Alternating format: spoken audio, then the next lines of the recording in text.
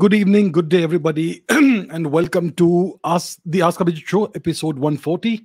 I hope you're all doing very well. And before we begin, let me wish you all a very happy Diwali. As we know, Diwali is tomorrow, and I suspect that some of you must have celebrated Diwali a little early after watching the cricket match today, right? So, yeah, so I wish you all a very happy Diwali. And uh, I too watched the cricket match today for a change. Uh, these days, I don't watch cricket, but today I thought, let me watch it and it was uh, certainly well worth the time. So um, let's see who all is there with us. I can see Harry Potter, Arsh, the Dragon Emperor, Vivan, Shivansh, Shashwat, Amritansu, Joseph Stalin, Abhishek, Challenge Accepted, R242, Nilesh, Softverse, Gaurav, Piyush, Rishav, Shetkari, Nivesh, Mayank, Pranay, सागर देवांशु राज कलश Gupta Varinder Dipesh Swapna Samarth Priyanshi Mazhar Neel Saket Abhinav Tux sharks Aryan Shubham the ox boss Ashish Bhoomi Shravani Vladimir Adityanath Vaibhav Mishra Abhishek Sarkar Shriram एंजेविल अप्रत अप्रति Aprat, Aprati, Apratihat Singh, Akash, Nikunj, Alpha, Devendra Divine, Akash Prasad, Swar Saundarya, Pankaj, The Guy, Shubham, Anahita, Shambhavi, Prerana, Subhi, Kasta, Punit, RTK, Ashish, Trupti, Jiga Chad of India, Nikhil, Dev, Crybaby, Challenge Accepted, and lots of other people. Good evening, good day to all of you. Thank you for being on the show with us all tonight. So, let's take a few questions. So, uh, yesterday I did the uh, I, I kind of rebooted the Indian Interest podcast, and I spoke about a variety of geopolitical issues that are of importance, right? I spoke about that. So some of those topics may be repeated today because lots of people have asked again lots of questions about similar questions uh, uh about the same topics. So some of the questions will be kind of repeated but yeah i'm always happy to ask you uh, to answer your questions even if they're repeated because many of these things are very important and things are changing uh, geopolitically very rapidly right? Events are, are going at a very rapid pace. So we will discuss um, various issues today including geopolitics including history etc so let's take what is question number one. Where is question number one?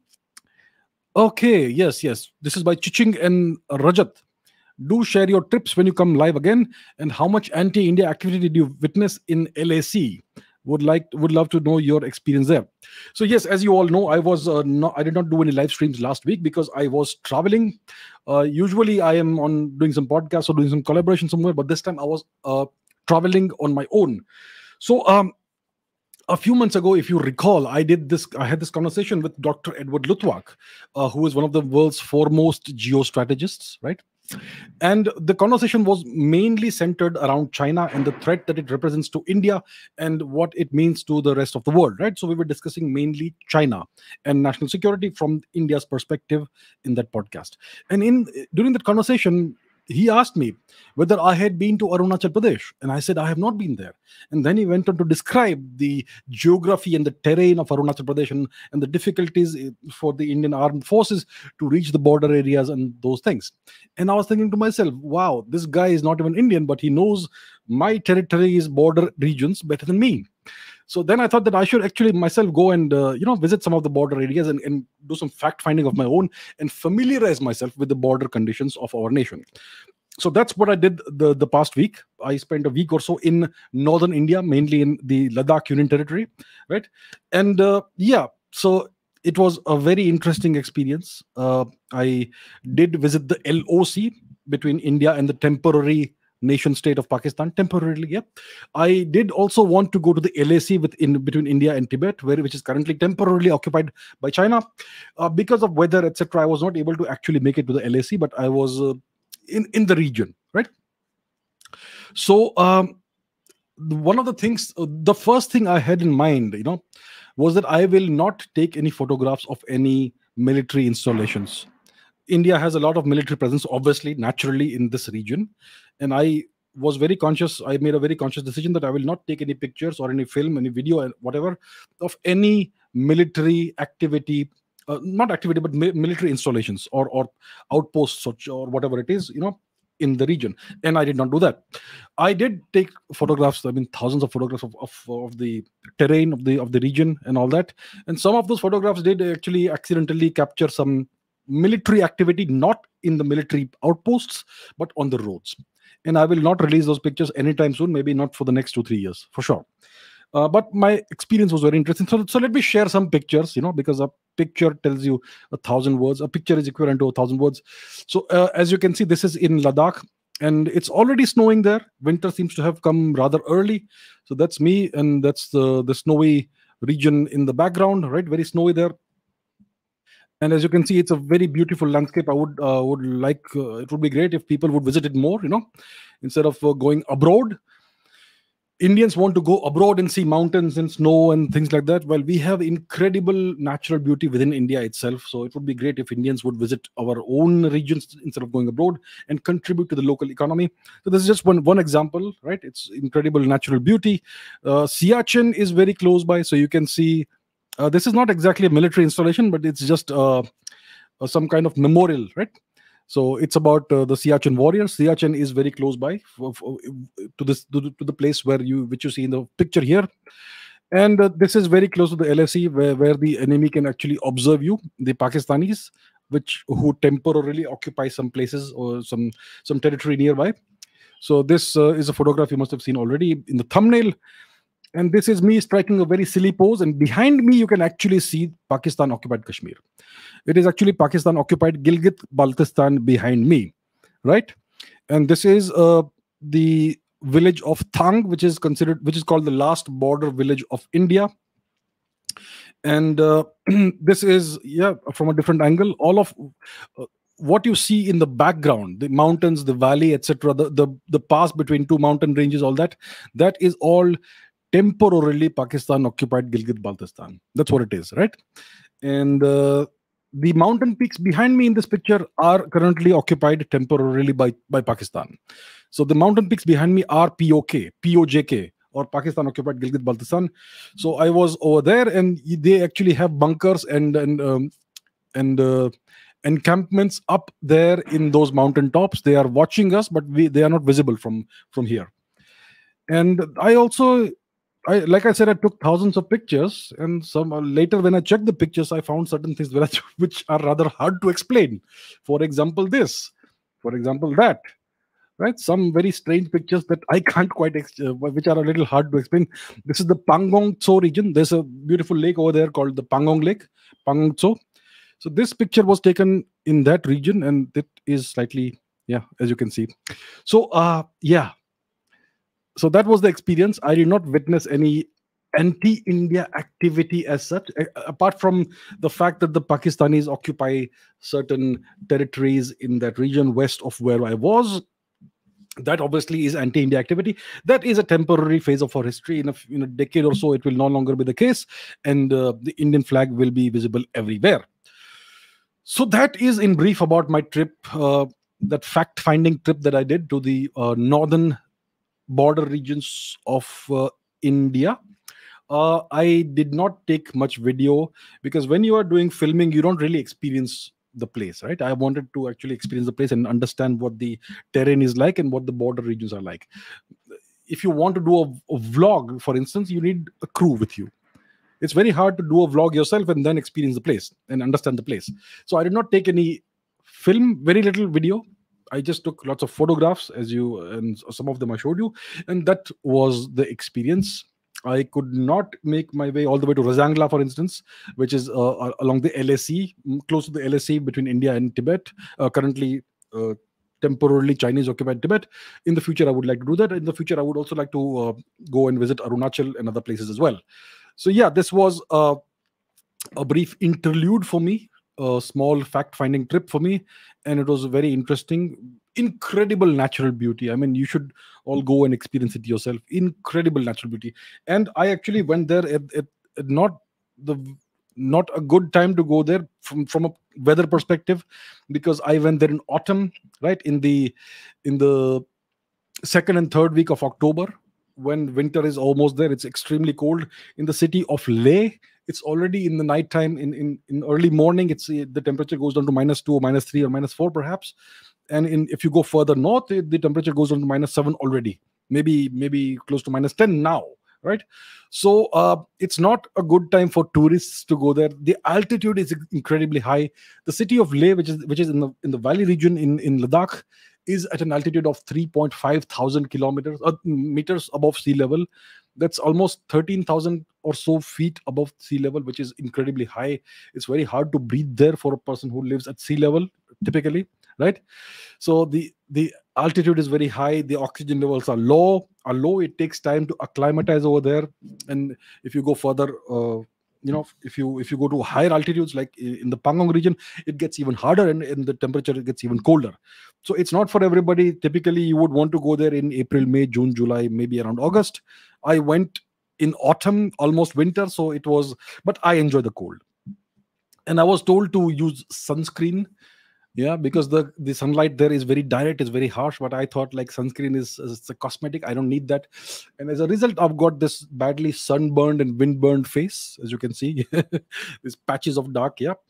I i kind of get sunburned very easily that's what i've discovered. But anyway so that's the kind of uh, experience that i had. That's the trip that i did to understand the border regions firsthand what the climate what the terrain is like what the geography is like what challenges our great armed forces and our, our brave soldiers face there. All that i got a very good understanding of that uh, first hand understanding and i would like to repeat that in other parts of uh, the border regions of india as well in the future. So that's the kind of experience that i had um, and maybe in the future i may even do a vlog if i can i would need to hire a uh, you know so a, uh, a crew for that. I i will do that in the future. Right now let's go on to the other questions Okay, this is by Birkaran Singh, Neil Badori, and Avinash. What about you? what about US national security policy saying India is their major strategic partner? Neil says, Did this video come up after US declared its national security policy stating India as an ally? I think not. And Avinash says, then what about mentioning India's name so many times in the recently released national security policy, calling India an ally, and so on and so forth? Even though we only call uh, America a partner, is it a, just a bluff? or a tactic or a signal for change. So I I have said various things about the US uh, from India's perspective, and lots of people are now saying that I was completely wrong because the Americans have called India an ally in their national security policy document, and I, I discussed this yesterday as well. But let's discuss it all over again because I'm sure many people may not have seen what I said yesterday or heard listened to what I said yesterday.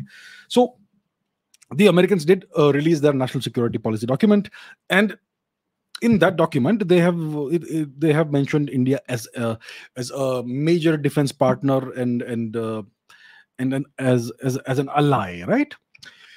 Now understand this all warfare all all diplomacy all geopolitics all geostrategy is based on deception. It's based on not lo- letting your enemies and your partners and your allies know what you're up to and what your long-term plans and objectives and strategies and tactics are. You should never lo- let anyone else know what you're thinking and what you're planning. So if a nation like the us releases an official national security policy document you cannot take it seriously. It is only for public consumption. It's for fooling people who are very gullible like like the, the like many of the comments that one sees right and i'm, I'm sure lots of other uh, so-called uh, geopolitics observers and commentators must have uh, been very enthused about the fact that America has called India an ally and mentioned India seven or eight times in the document. I, I see. First of all, please understand, I don't watch any other geopolitics videos. I don't follow such channels and such uh, writers and all that. So I have no idea who said what. But I get the feeling, I get the sense that many of the other geopolitical uh, experts seem to be very happy about this. So I am not happy about this. I'm not. It doesn't excite me at all because any document that is released in public is only for public consumption. It does not reflect what that nation actually seeks and intends to do. It's all about deception. So if they have mentioned India seven, eight times or whatever, why are you all getting so happy about it? If they have called India an ally, so what? It's words. If you, I mean, have I, have you not listened to me enough? How many times have I said this over and over again? Words don't matter, only actions matter. And yet you all get happy about this. Oh my goodness utsav ki tayari karo. India india is now uh, the americans have called us an ally. They mentioned us seven or eight times in the document. Great success. Nacho. I mean what is this? What is this? Why why are people so happy about this? Look at the actions the Americans are doing. They have brought Pakistan out of the FATF grey list. So now any nation can invest in Pakistan without uh, worrying about uh, any sanctions from the US from, from a terrorism perspective, right? So Pakistan has now be, been given a clean chit. The Americans are giving Pakistan a half billion dollar upgrade to their F-16 fighter jet fleet. These are actions, not words. The American vassal states like uh, South Korea and Japan are now investing big time in Pakistan. These are actions, not words. Words don't matter. There are so many other things. The American ambassador, there is no American ambassador in India, right? But there's an American, ambassador in, in, in, in Pakistan who recently visited the illegally and temporarily occupied uh, part of Kashmir, which is which is temporarily occupied by, by, Pakistan, and they called it he or she, whoever it is, called it AJK, whatever the hell that means, right? Instead of POJK, right? So they are all they, they are supporting Pakistan in all these matters. These are actions. When a diplomat issues a statement on Twitter and and uses a certain term, that's an action. It's not a it's not words words anymore. It's a, it's it's a signal of support. So when you see all these things, when you see the actions, they are all anti-India. When they are aiding and and and uh, arming Pakistan, that's an anti India action. That's a hostile act against India. These wonderful words don't matter. But Indians are so emotional and so gullible. Yeah. That, yeah, they said this, so now everything is fine. How silly can people can, can, can people be? Have you learned nothing from me? I just don't get it.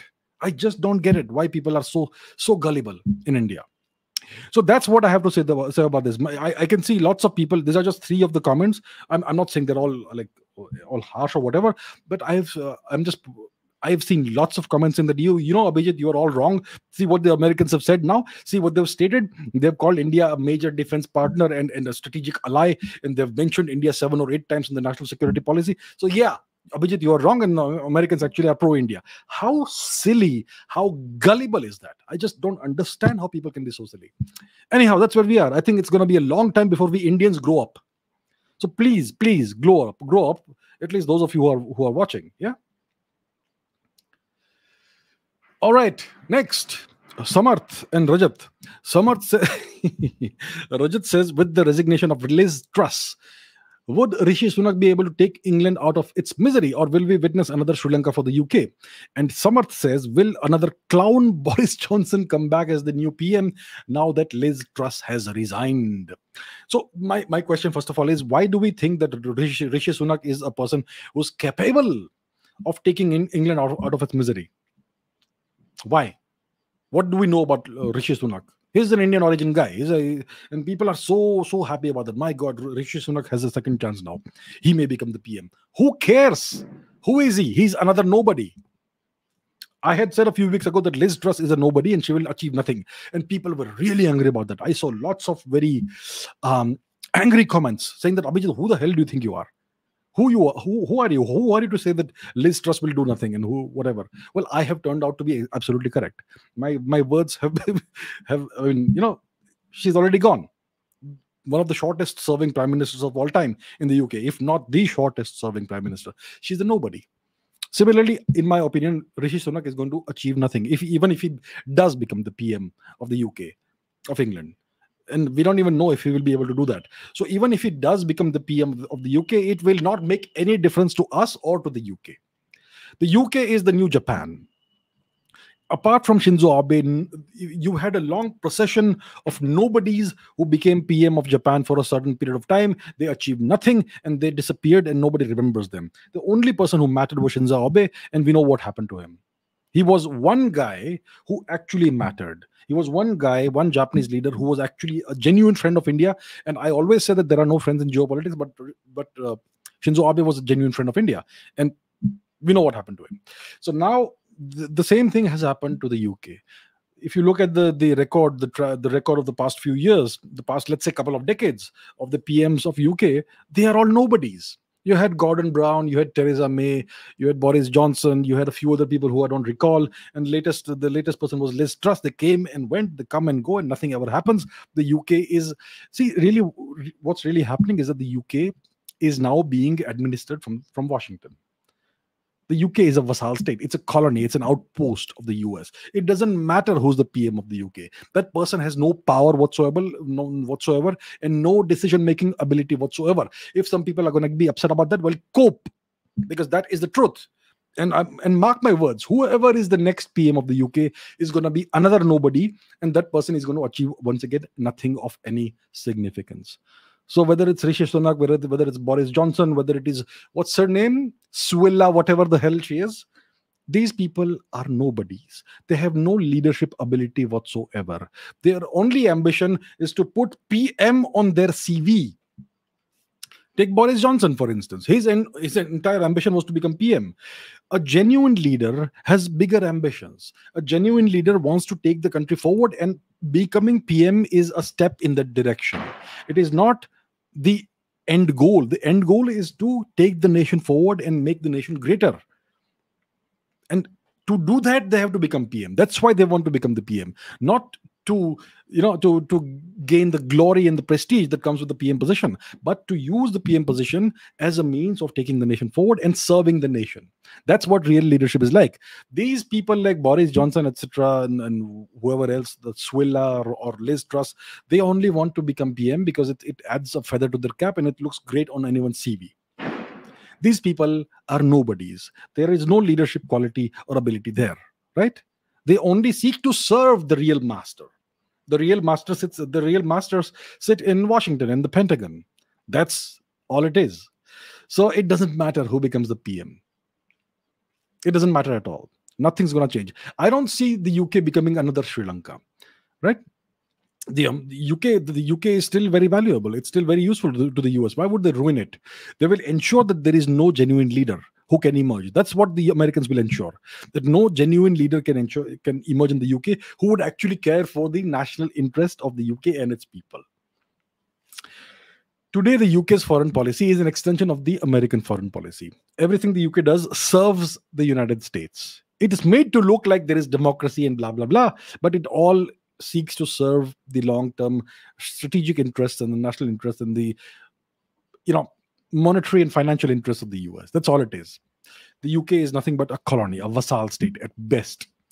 So they will not turn it into another Sri Lanka. They will not ruin it. They will use it as long as they can and as long as it's useful. And it's still quite useful. So that's what's going to happen. But whoever becomes PM next is going to be an insignificant person. Whether it is Rishi, I don't know why Indians are so happy about Rishi Sunak. Who cares? Who is he? He's not serving the he's not serving india in any way whatsoever. Even if he does become the pm he's going to have no actual power. So these people are insignificant. We should stop wasting our time over these people. Froster says, I think the new Britain PM will be an Indian because Americans will try, try to give India more reasons to be on the side of the West without giving us any real benefits. This person, Froster, is intelligent. He or she gets it yeah. He i mean the americans know very well that indians are extremely emotional. Um, indians like prestige. Indians like status. As, even if the status comes at the at the expense of india's national interest doesn't matter. Indians don't even understand what is the meaning of the national interest. Yeah so they make yeah this is a very interesting uh, thought that uh, froster has put forth that maybe the americans will make uh, maybe Rishi Sunak or maybe what's her name, Suella, the next PM of the UK. So it will it will so then there will be a lot of uh, pressure from the Indian voting population for the Indian government to become more pro-West because see now we've got a Indian origin UK PM but we will uh, india will gain no real benefits from it. Everyone knows that. I mean not everyone knows that but you should know that that it doesn't benefit india in any way whatsoever whoever is the PM of the UK. Think about it. There are so many Indian origin CEOs in the West, whether it's Google, whether it's uh, what's it called, Facebook, or there are dozens of companies, right? Big corporations, the Fortune 500 corp- corporations. Lots of these CEOs are Indians. What in what way does it benefit India? in no way whatsoever. And yet Indians dance and, and, and, rejoice whenever one of these people ascends to the top post. These people merely serve an unseen, unknown, and larger master. So that's how it is. That's how the real world works. And this is what none of your geopolitical experts will tell you. but that's what it is. So I'm glad that Fo- Froster has learned something at least from watching me and I'm, I'm really glad to see that so yeah maybe maybe maybe froster is right maybe the americans will will install an indian origin uk pm yeah to make uh, the gullible indian population populace rejoice and dance and then pressurize the indian government to become more pro pro pro west because see the west is pro india apparently no it's not all right next question Trojan Horse says, What do you think Xi Jinping's third term is going to be like? Do you think he will be even more aggressive? I think it's quite likely that Xi Jinping will be more aggressive and more, more assertive. Uh, the 20th National Congress of the CCP has just concluded. It ended you know, on a very on a very ominous note with the public humiliation of Mr. Xi Jinping's predecessor, Hu Jintao. Uh, Hu Jintao was in power for, I think, a decade in, in China and uh, and it is under Hu Jintao's leadership that China experienced year after year of of uh, double digit growth of its GDP. And then in 2012, Mr. Xi Jinping took over the reins from Mr. Hu Jintao, and now 10 years later, he has publicly humiliated Mr. Hu Jintao by having him by by creating the spectacle of Mr. Hu Jintao being physically lifted out of his seat by two bodyguards or, or security people and and pulled out of the proceedings of the uh, of the 20th National Congress of the CCP. Mr. Hu Jintao was later allowed to come back and vote or whatever, but that spectacle that was done is something that's, that people will remember forever.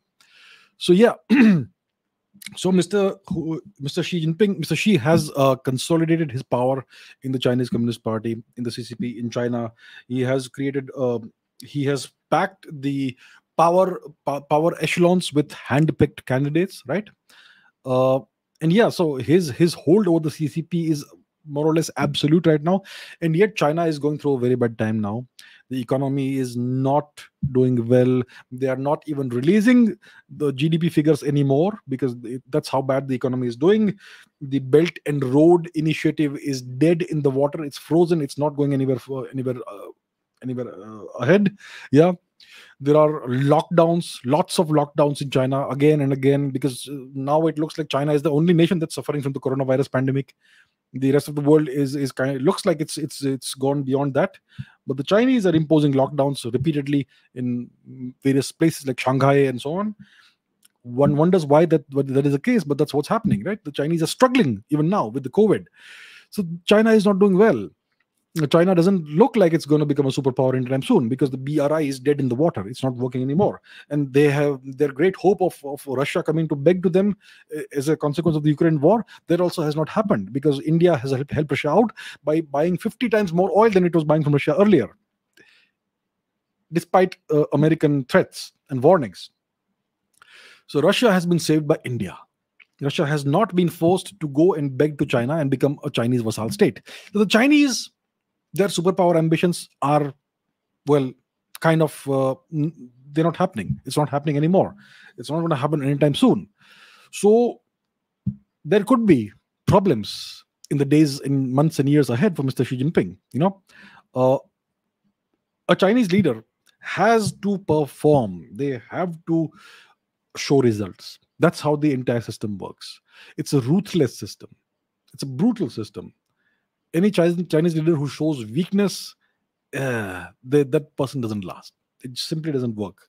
Even if that person has taken complete uh, control of the CCP or whatever, if you don't perform in China as a leader, you're you're dead. You're finished. So Mr. Xi Jinping could get desperate if things go th- things keep on going bad right if the economy doesn't emerge out of its its downturn i mean things are going to get worse there's a food crisis there's an energy crisis in the world um, which has been created by the created by the Americans. There, there are these sanctions the Americans have imposed on China, the export controls for semiconductors and all that. So, the, so the Chinese semiconductor in, industry seems to be finished right now. Yeah, it's it's almost like a nuclear attack on the uh, Chinese semiconductor and chip industry. So now the Chinese, even if they try to control capture Taiwan, if the the Taiwanese destroy those uh, those chip making factories, then, then the Chinese will be left with nothing. So it becomes even more difficult for them to to try and you know invade Taiwan or conquer Taiwan. The Chinese are in a very difficult position. And that's something that could make Xi Jinping desperate and make him aggressive and, uh, you know, lead to various, uh, one could say, ill-advisable actions on behalf of China, on the on the part of China.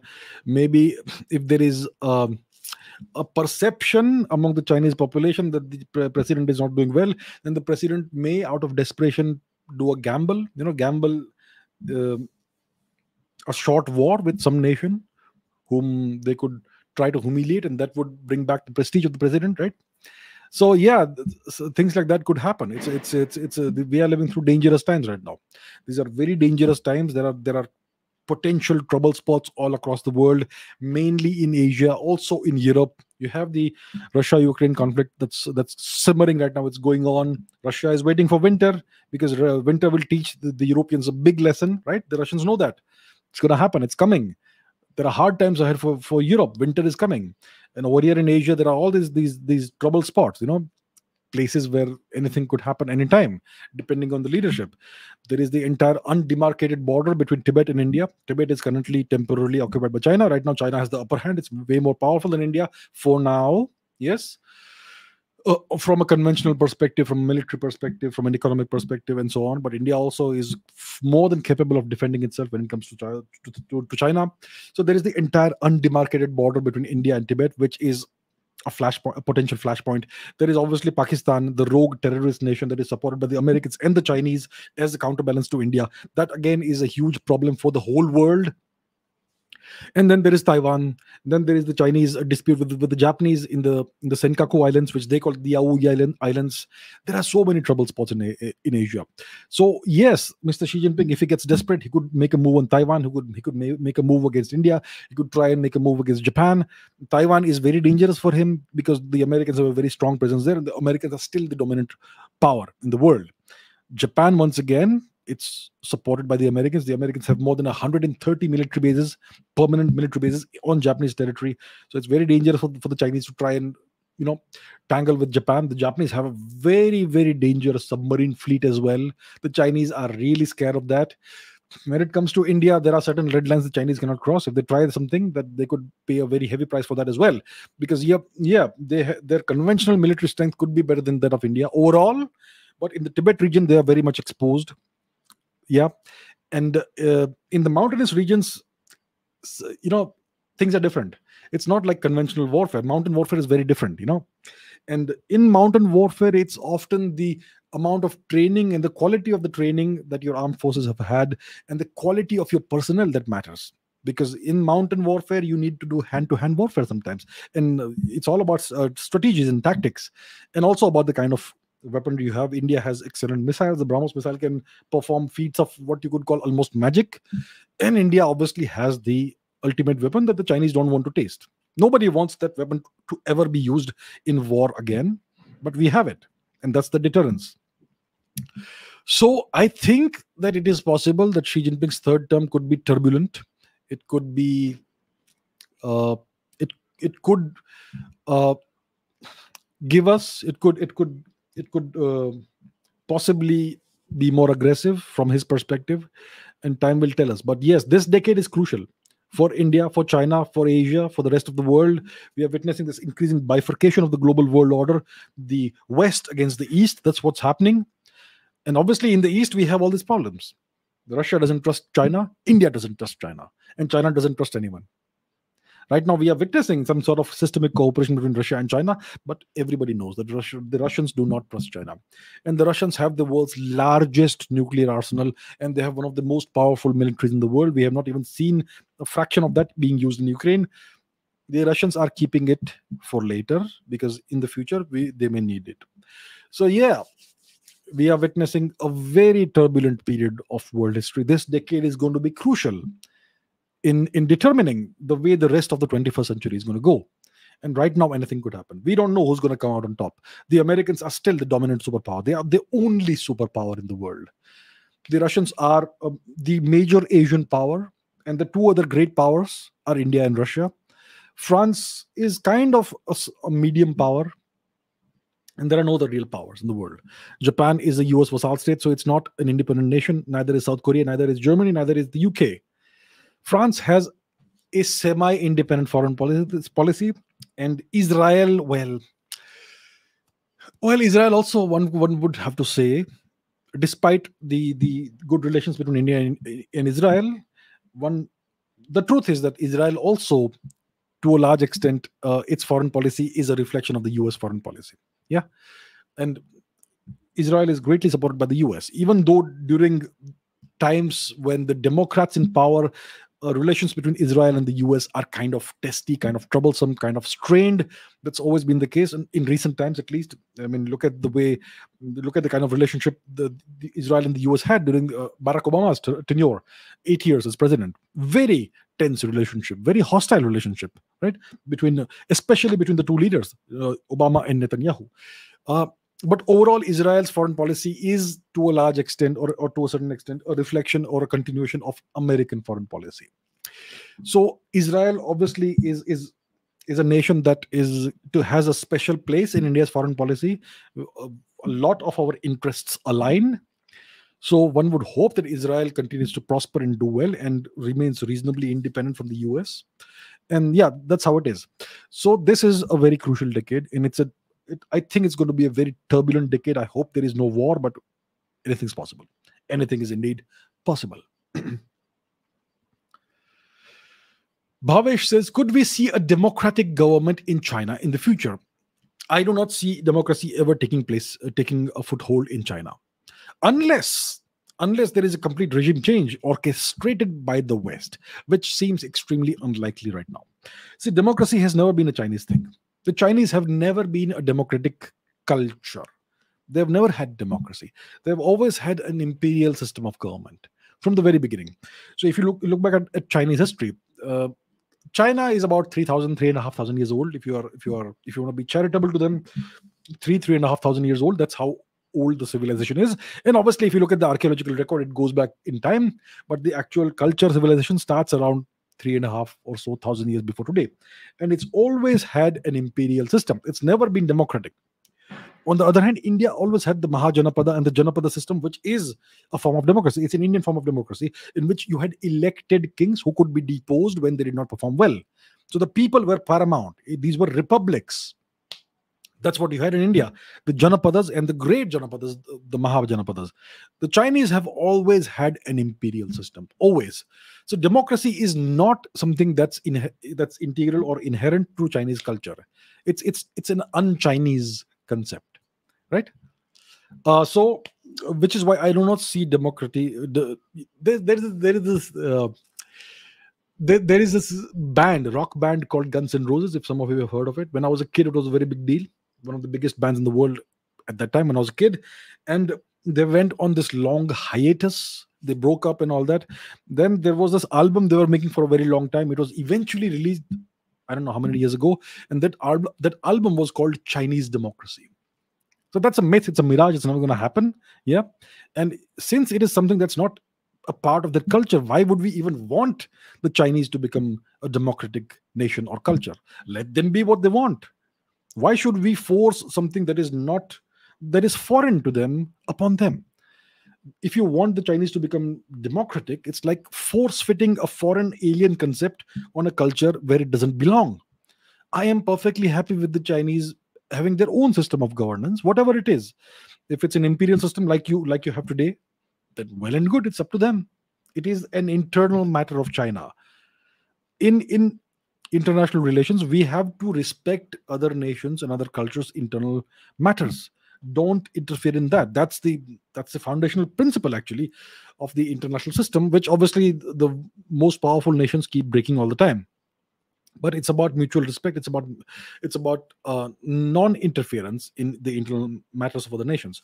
So i would say i i do not, do not see this ever happening unless there is a complete coup and the chinese system is broken down by the west and the west is able to effect a complete regime change which is extremely unlikely. Even if they're able to impose a, demo, a so-called democratic government in china it won't last long because it's not something that is part of chinese culture. So to make it short, to answer in one sentence, I do not ever see a democratic government in China in the future. And that's fine. Okay, Yashwant says, what are the implications of Pakistan being removed out of the FATF grey list? Why is the US pursuing short term interests? Doesn't it realize it's doing the same mistake it did in the 90s again? How should India tackle this growing adversarial nexus between the US and Pakistan?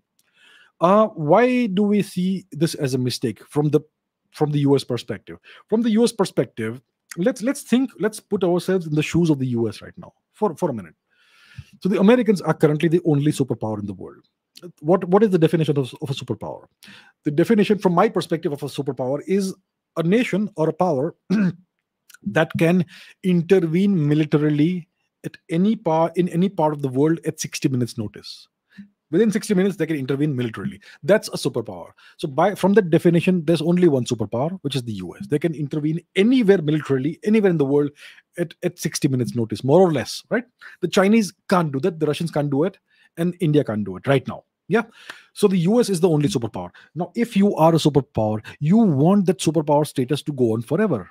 You don't want that to erode away and so you may have you may pursue certain short term interests or certain long long term interests based on what your long term objectives are so from the us perspective they don't want new competitors or new threats to emerge on the horizon on the long term horizon that could uh, nations that could become a threat in the next 10 20 30 years india very much fits the bill of a long term competitor to, to, the US. India's economy is growing. India's population is young, energetic, very bright, very capable, huge potential. India has everything.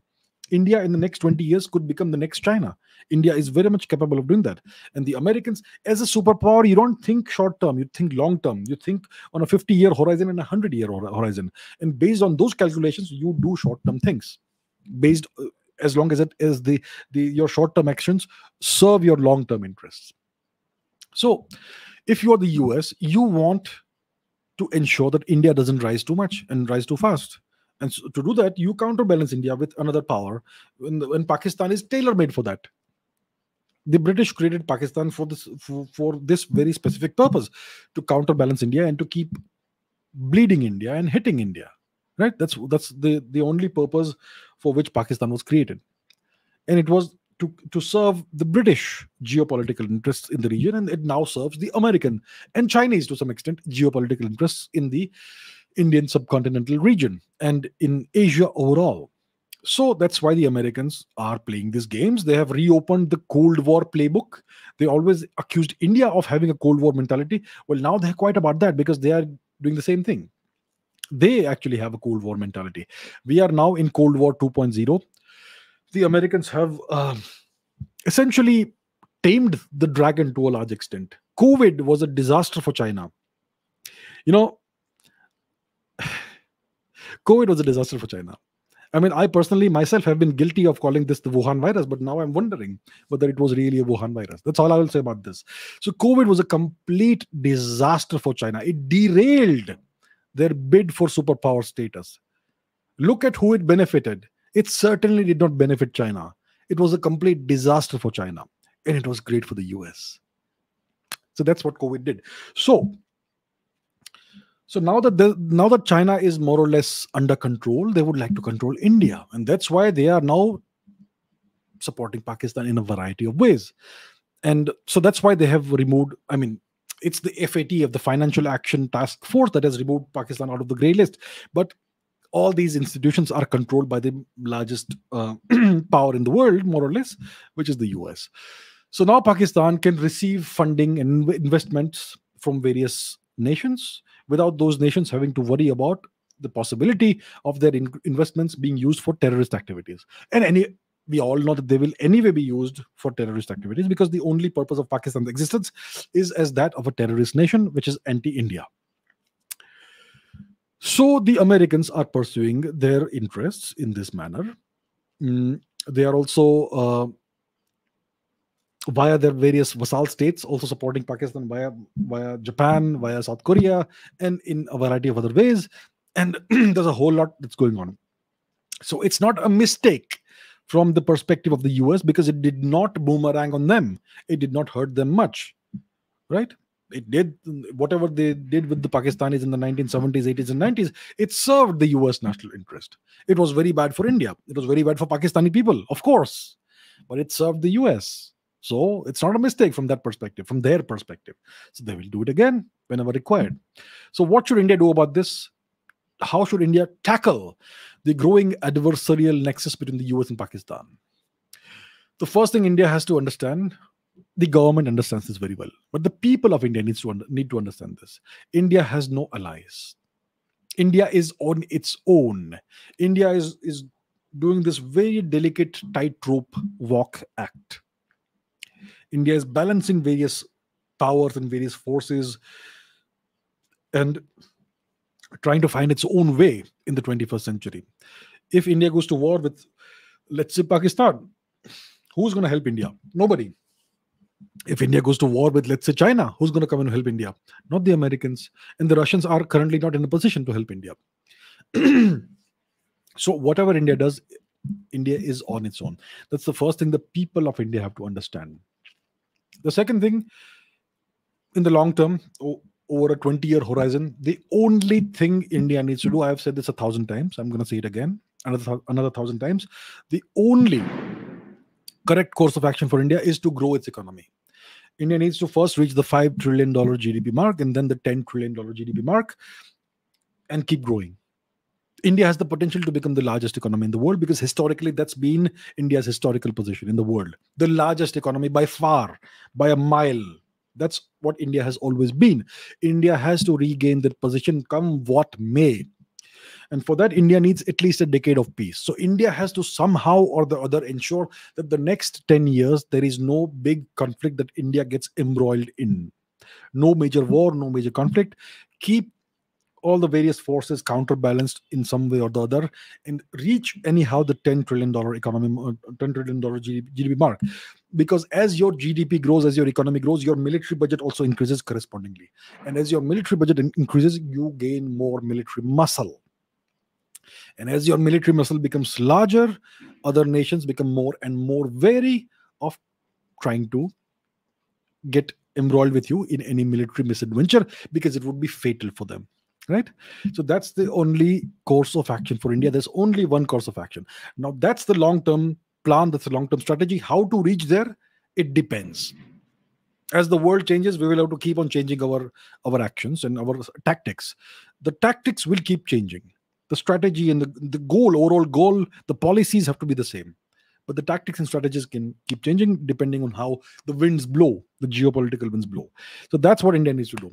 There's only one way to tackle all these problems. It's by growing. It's by growing and regaining our historical position as the world's largest mm-hmm. economy. That's the, the, nothing else nothing can come should come in our way.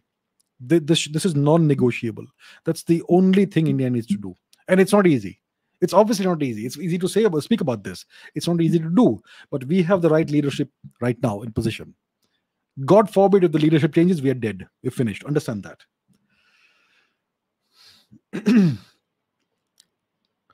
okay, Samarth says, You pointed out that India is no longer in the US camp. Considering this, how do you see India Japan ties and the future of the Quad? India and the US probably have this one common interest, so no impact on India Japan ties. Um, India Japan ties are changing, unfortunately. Uh, I pointed out that India is no longer India was never in the US camp, but India and the US were coming closer together because of the rise of China. Now, like I just said, the Chinese rise has stopped. It has the, the Chinese juggernaut, the Chinese growth engine has stalled.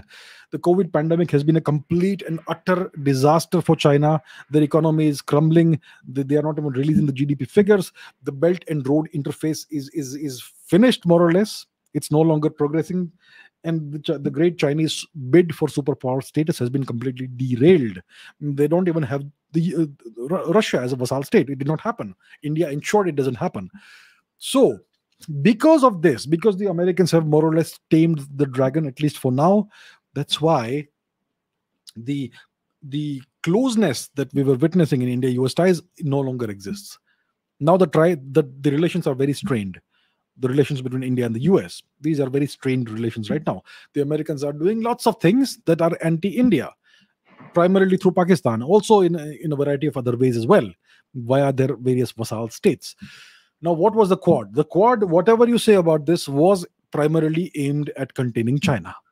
The Quadrilateral Alliance, India, the US, Australia, and Japan.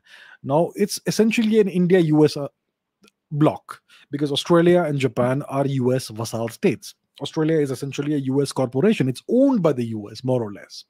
And Japan is under permanent military occupation by the US. So it's essentially an in India, India and US bloc that the Quad is. Now, since the Chinese, to some extent, have been contained, obviously the Chinese are still a formidable uh, naval power. They have a very large navy. They are still building more warships. They're still building submarines. They're still bolstering their armed forces. But because the economy is stagnant now, they will not be able to continue this at the same pace. So, and the Americans have more or less destroyed the Chinese chip making industry and they are doing everything they can to hamper the Chinese. And that's why the Americans are right now, it looks like they're pretty confident that, that, that, the Chinese have been more or less contained for now, at least. Yes. And that's why the Quad will no longer get the same importance as it used to. Obviously, it, it still has a mm-hmm. relevance, but still, they still need, need to contain the Chinese and ensure the Chinese don't cross the various island chains in the South China Sea the Champa Sea and the in the Pacific Ocean region and so on. So for that, the Quad is important. The Americans are Uh, arming the Australians in the next 20 years. Australia will acquire US made nuclear submarines and so on. So the Quad will remain relevant, but it will no longer have the same urgency that it had, let's say, two years ago or three years ago. But it's still going to be relevant. So India and the US, from the Chinese perspective, are still on the same side. India does need the US to some extent to counterbalance China. India can counterbalance China on its own using its whatever means it has at its disposal, but it does need the goodwill of the US to some extent, to a large extent, actually. So um, the Quad will remain relevant. Now, what about India, Japan? As long as Shinzo Abe was a big force, as long as Shinzo Abe was alive, whether he was active in politics or not, he was the biggest force in Japanese politics.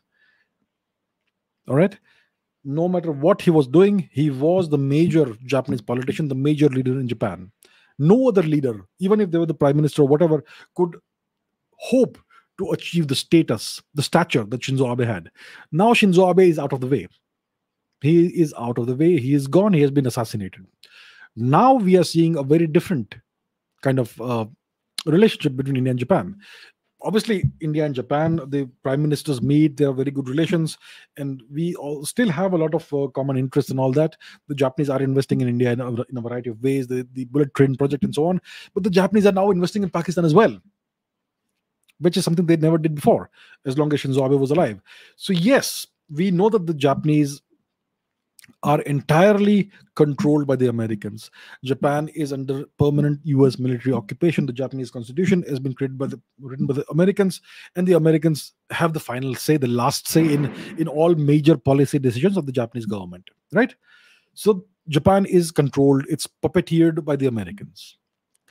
And considering this fact, there could be a downturn in India Japan in, in, in India Japan ties.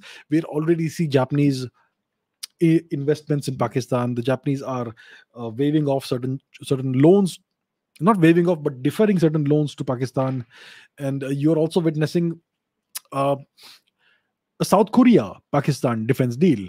So we are witnessing these changes now. So there's going to be an impact on India Japan ties, and the impact will not be, may not be very good. One hopes that the relationship between the two nations remains as strong and as vibrant and as positive as it as it has always been. India and Jap- Japan are like civilizational brothers, twins, whatever you want to call it. Mm, uh, India has had a huge influence on Japanese culture over the past nearly 2000 years. Yeah.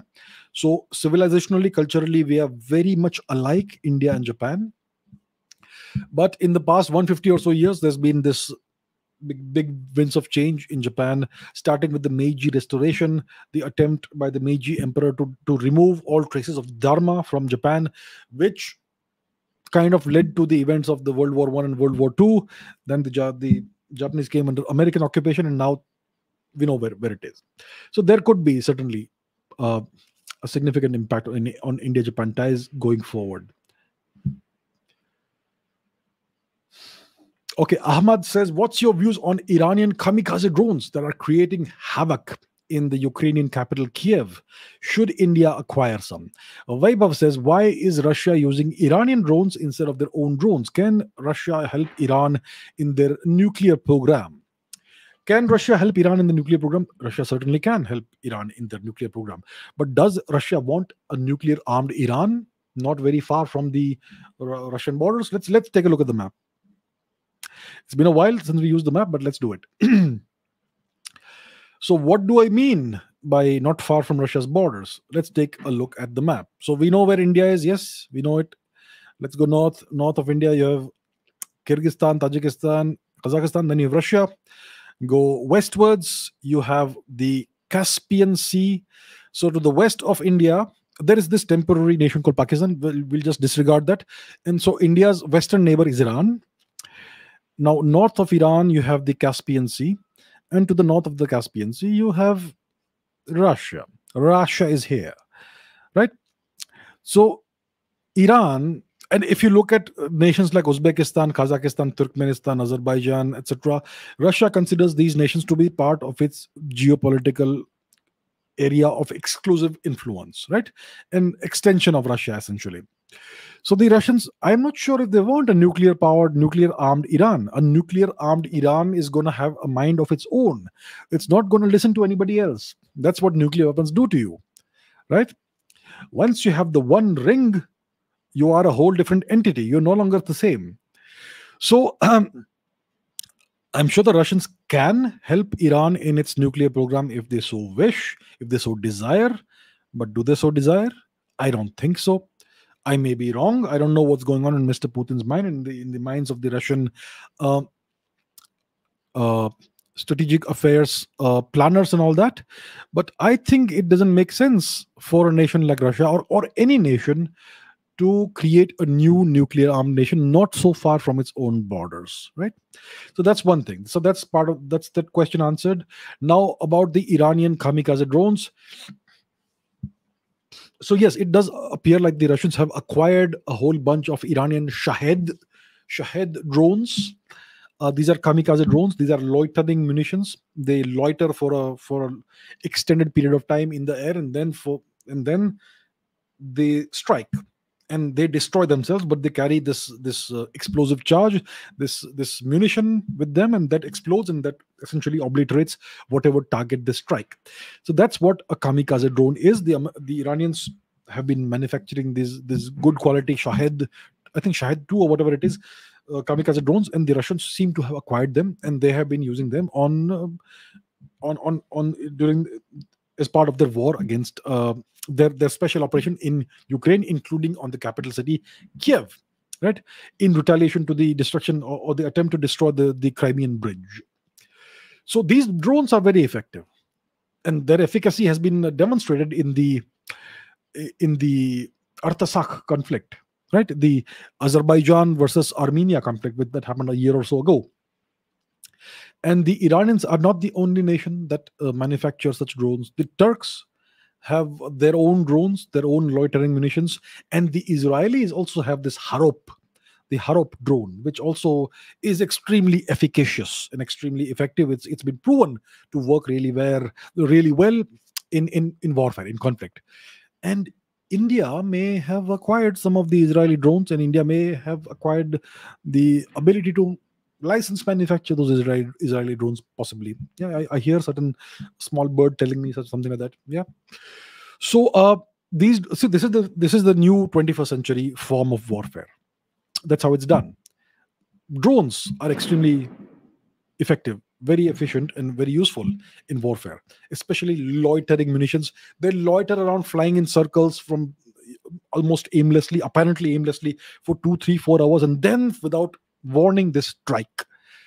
And they can fly quite high. I mean depending on the on the manufacturer depending on the type of drone they could fly at a, a very high altitude almost invisible and then they will suddenly strike at, at a, uh, and uh, you know obliterate the target so should india acquire some india should certainly acquire such drones. Ideally india should manufacture its own drones homegrown technology. As long as that is not the case we should acquire such drones from friendly na- from friendly neighbor nations.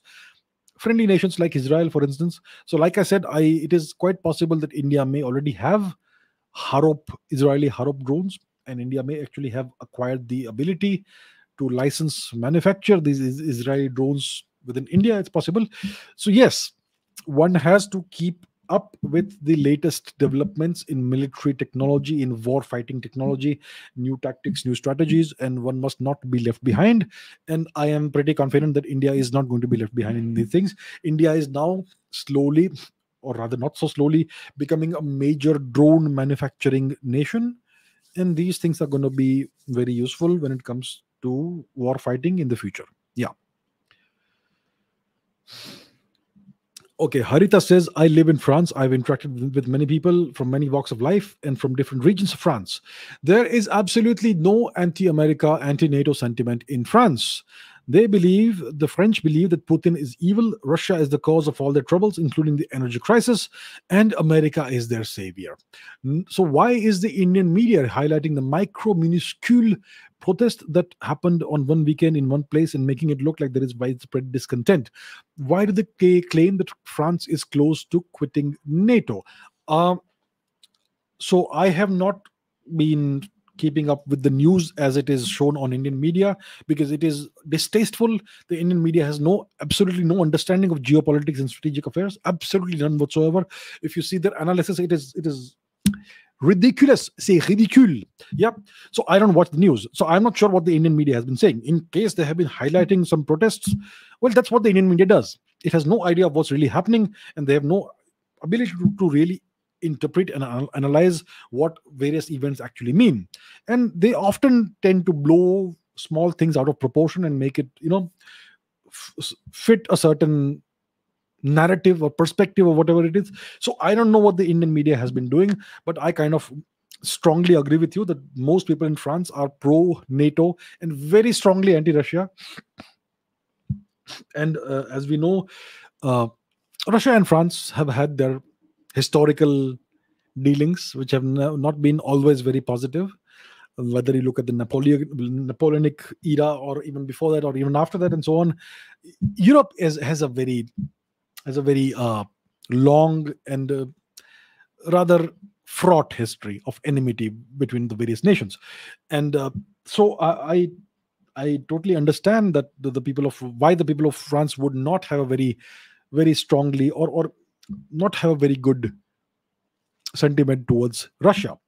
And obviously, the Americans did liberate them to a large extent from the Nazis during World War II. So that is also there. The the Normandy, the invasion of Normandy from from the beaches of Normandy, you know, and from there the the campaign moved eastwards, liberation of Paris, liberation of France, eviction of the Nazis, all that. So, yes, the people of France, most likely, like you're saying, would have a very pro America and pro NATO sentiment, no anti America, anti NATO sentiment. Overall, there will be some pockets of resistance, maybe among the farmers or among certain people who would feel that uh, France would be better off being outside NATO. There is, there is obviously a political party under Marine Le Pen, and she is of the opinion that France should leave NATO, but she obviously is not uh, right now able to win the presidency, right? So um, overall, France is definitely going to be pro NATO and anti Russia. Or most of uh, the Western European nations are going to be like that. So uh, yeah, so that is indeed, indeed the case. There will not be a very strong or any or extensive anti-NATO, anti-America, or pro-Russia sentiment within France whatsoever. The Western European, the people of Western Europe consider Russia to be an Eastern Eastern nation. They do not consider Russia to be a European nation a European culture. They consider the Russians to be an Eastern people, an Eastern culture. So it's a cultural thing, it's an ethnic thing, and also it's a political thing, a geopolitical thing. So, yeah, overall, I totally agree with Harita's assessment and her reporting that the people of France are definitely anti Russia and pro US, pro NATO. And I don't know what the Indian media does. I do not take it, the Indian media seriously at all. They have no understanding of geopolitics, they have no understanding of what's happening in the world. Their reporting is, is cringeworthy very often. For the longest time, when it came to foreign policy and external affairs, the only the only nation they thought of from the foreign policy perspective was Pakistan. International affairs means pakistan. That's how it was until i think 90 uh, until until 2019 2020 until the galwan clash. And then china came on the horizon slowly. Nowadays everybody is a geopolitical expert but they have no idea of what's really happening. So i have seen the indian media in action. It's it's terrible. So let's not take it very seriously shall we? Yeah. Okay, Nitish says, uh, what's the question? Wouldn't it be better for India to be in line with America's interests and develop the nation as Japan, Germany, and other nations did after World War II? Right. So, interesting perspective, interesting question. So, it would have been good for India if India had, let's say, aligned itself to a certain extent, for sure, with the US. The US was willing to to make India one of the five permanent members of the UN Security Council. Even the Russians wanted that. And there were at least three offers that were made to India. And the great Indian magnificent Prime Minister, the great magnanimous Shri Nehruji, refused those offers and insisted that that position be given to China instead. That's a whole different story, right? So the Americans did want India on their side. The the president of the US, Mr. Kennedy, he actually offered India nuclear weapons technology before the 1962 war with China. Had India acquired the technology, the Chinese would not have dared fight a war against India and try to invade India, which they succeeded in doing to some extent. So it would have been good for India's interest. But the question is, how far would it, should we have go, would we have gone with that? Should India have become, like you say, a nation like Japan or Germany? Well, Japan and Germany are under permanent US military occupation. That would be a horrible thing for India because then India would become earlier we had the east india company now you would have the americans. And then india's foreign policy and india's internal policy would become an extension of america's national interest which would not be good for the people of india and the nation and the civilization of india. So it made sense it would have made sense for india to align itself or ally itself with the us to a certain extent without compromising on its core interests on its national interests, its cultural interests, and all those things. Yeah. So it would have been good if it had been done judiciously in the right way. For that, you need good leadership, which we did not have.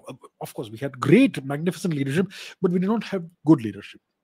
So uh, that's what happened. Now we have to understand a different perspective as well. The people of Japan, Japan is an extremely prosperous nation. It's the most technologically advanced nation in the whole world today isn't it? The, the, the most technologically advanced nation in the world. Germany is Europe's um, industrial powerhouse. It is Europe's biggest economy, largest economy. Uh, the GDP per capita of Japan is incredibly high compared to that of India. And the same goes for Germany. Japan's GDP per capita may perhaps possibly be higher than that of Germany as well. So the people of Germany the people of Japan experience great levels of personal prosperity, very high standards of living. And yet, these two nations are enslaved. These are not free nations. These are nations that are laboring under permanent foreign occupation. Think about it like this let's say you have a family of lions in a zoo. Lions, ah, lions. These lions have kids of their own one generation second generation those kids have kids of their own and so on. So these new generations of lions live in this big vast zoo with a lot of ground territory which they can cover and there is a fence around that. So they have excellent standards standards of living. They get fed regularly as much as they want to eat. They get great shelter. They get great wa- they get water. They get everything they could imagine they could ask for. They live lives of great safety great great luxury and no problems at all right? And yet they are slaves. They're enslaved. They cannot go beyond the confines of the zoo. So yes it's possible to enjoy great living standards and great personal individual prosperity in a nation that is completely enslaved. Do you really want that? That's the question you have to ask yourselves. It is and, and and a person who lives in such a nation will have all the possible will all will have all kinds of options at their disposal they will have great personal freedom. They'll be able to travel wherever they want in, in the world at a moment's notice. They'll be able to choose any career they want. They'll be able to give their children whatever the, the, the children want. So, individually, each person will be very prosperous and very free. But collectively, the nation is still enslaved. Understand the difference between these two things. So, yes, had India become another slave vassal nation of the US, maybe the people's prosperity would, would have been great. But India's culture would have been destroyed and India's freedom would have evaporated. Look at what's happening in Japan. Look at the cultural erosion Japanese are suffering. Look at the cultural erosion and destruction of the culture of South Korea. Yeah, sure, they are prosperous. They have great standards of living, very high amounts of prosperity. And yet, where's South Korea's culture? And they have no freedom. The nation doesn't have an independent foreign policy. The nation doesn't have an independent military policy. South Korea's head of the military is a US general, is an American general. When it comes to Japan, all major policy decisions in Japan by the government, they can be done only after the approval of the Americans. This is not a free nation. So the question is do you want to be prosperous but slaves? Or do you want to struggle upwards and be free? That's the question. From a long term perspective, struggle is better. Immediate freedom, immediate prosperity isn't great because in the long term, your nation ceases to exist, your culture ceases to exist. You become irrelevant and you become subsumed by the superpower. So that's the thing. We have to take a long term perspective, a hundred year, 200 year, thousand year perspective. For us in India, thousand years are not a big deal. We are the oldest surviving civilization, the oldest civilization that exists on the planet, more than 10,000 years old. For us, a thousand years is not a big deal. So we have to take a hundred year or maybe a thousand year perspective. And had we aligned ourselves with the US the way the Japanese and the Germans have been aligned as, as vassal states, as slaves, it would have been the end of Indian civilization. Even today, as a free nation with an independent foreign policy, we are still facing so many challenges from the cultural and civilizational perspective. There are so many internal problems that are being created within the nation by outside forces. And one of the main thrusts of these outside forces is to uproot and destroy Indian culture and civilization. We are seeing it everywhere. So imagine had India been a vassal state of the Americans, like the Ger- Germans have been, or the Japanese have been. Well, the German culture is more or less the same as the American culture from a religious perspective, the same religion. So the, the Germans are fine. But the Japanese and the Koreans see what's happened to their culture and their civilization. It, it's it's disappearing, it's evaporating. So I would say that it would have been good had India aligned itself judiciously with America from the perspective of India's own national interest in a way that benefited India and the US simultaneously without one nation you know getting more out of out of the deal. So that would have been good. But had india become like germany or japan it would have been the end of india. So yeah that's that's the answer Okay, Bhumi says, What are your thoughts on the new air base in Gujarat's Disa, which after its completion will reduce the long pending strategic gap gap of 355 kilometers between the Bhuj and Uttarlai air bases? And how much will it be a game changer in strengthening India's defense and national security? Okay, let's take a look at the air base in Disa. So, where is Disa? It's somewhere in the north of India, in the north of Gujarat. I, uh, I beg your pardon. So the old capital of Gujarat was Patan, this town here. It was once the greatest city in Gujarat. North of Patan, uh, you have this place called Disa. So that's it's so it's in the vicinity of this town called Disa that the uh, new air base will come up. It's in northern Gujarat, close to the Gujarat Rajasthan border, south of Mount Abu, more or less. So we have an air base near Bhuj in western Gujarat, in Kutch, right? Bhuj, this is Bhuj over here, if you can see. This here is Bhuj. And then there is uh, this Uttarlai air base, which I believe is in the Barmer region of Rajasthan, right? Somewhere here. So there is a big gap in between. So this new airbase in Disa will fill that gap. Will it be a game changer? Not exactly a great game changer, but it's going to plug a gap that is currently existing. So it's a good thing. So I'm glad to see that uh, these steps are being taken to uh, to strengthen India's uh, defenses and India's national security. Um, overall, when it comes to Pakistan, Pakistan is is not that big of a threat to India as as compared to China, but it certainly makes sense to uh, plug in any gap to fill in any gap that currently exists vis-a-vis our air defenses and and overall uh, border defenses vis-a-vis Pakistan versus, versus, Pakistan. So it's a it's a very good step that we are taking now that our economy is growing. Our we can invest more in these these things. So it's going to be, in the long run, a very good thing for India as long as Pakistan temporarily exists. Then we will look at other things. Okay, Daniel Nicholson says, I'd love to know if India's latest airport, where the first flight was completed by Indigo Airlines this month, uh, so the latest airport near It- Itanagar in Arunachal Pradesh is a message to China, which claims Arunachal Pradesh to not mess with Modi's new India, considering the People's Republic of China always raises objections to any official visit to Arunachal by Indian dignitaries. Is India finally shedding its laid-back approach to the yesteryears of the yesteryears and being more assertive now, which is good? Okay, let's take a look at the where Itanagar is. So Itanagar is in Arunachal Pradesh, in the far east of India. So this here region is called Arunachal Pradesh. Let me um, bring in, I don't know the terrain map. Here we are.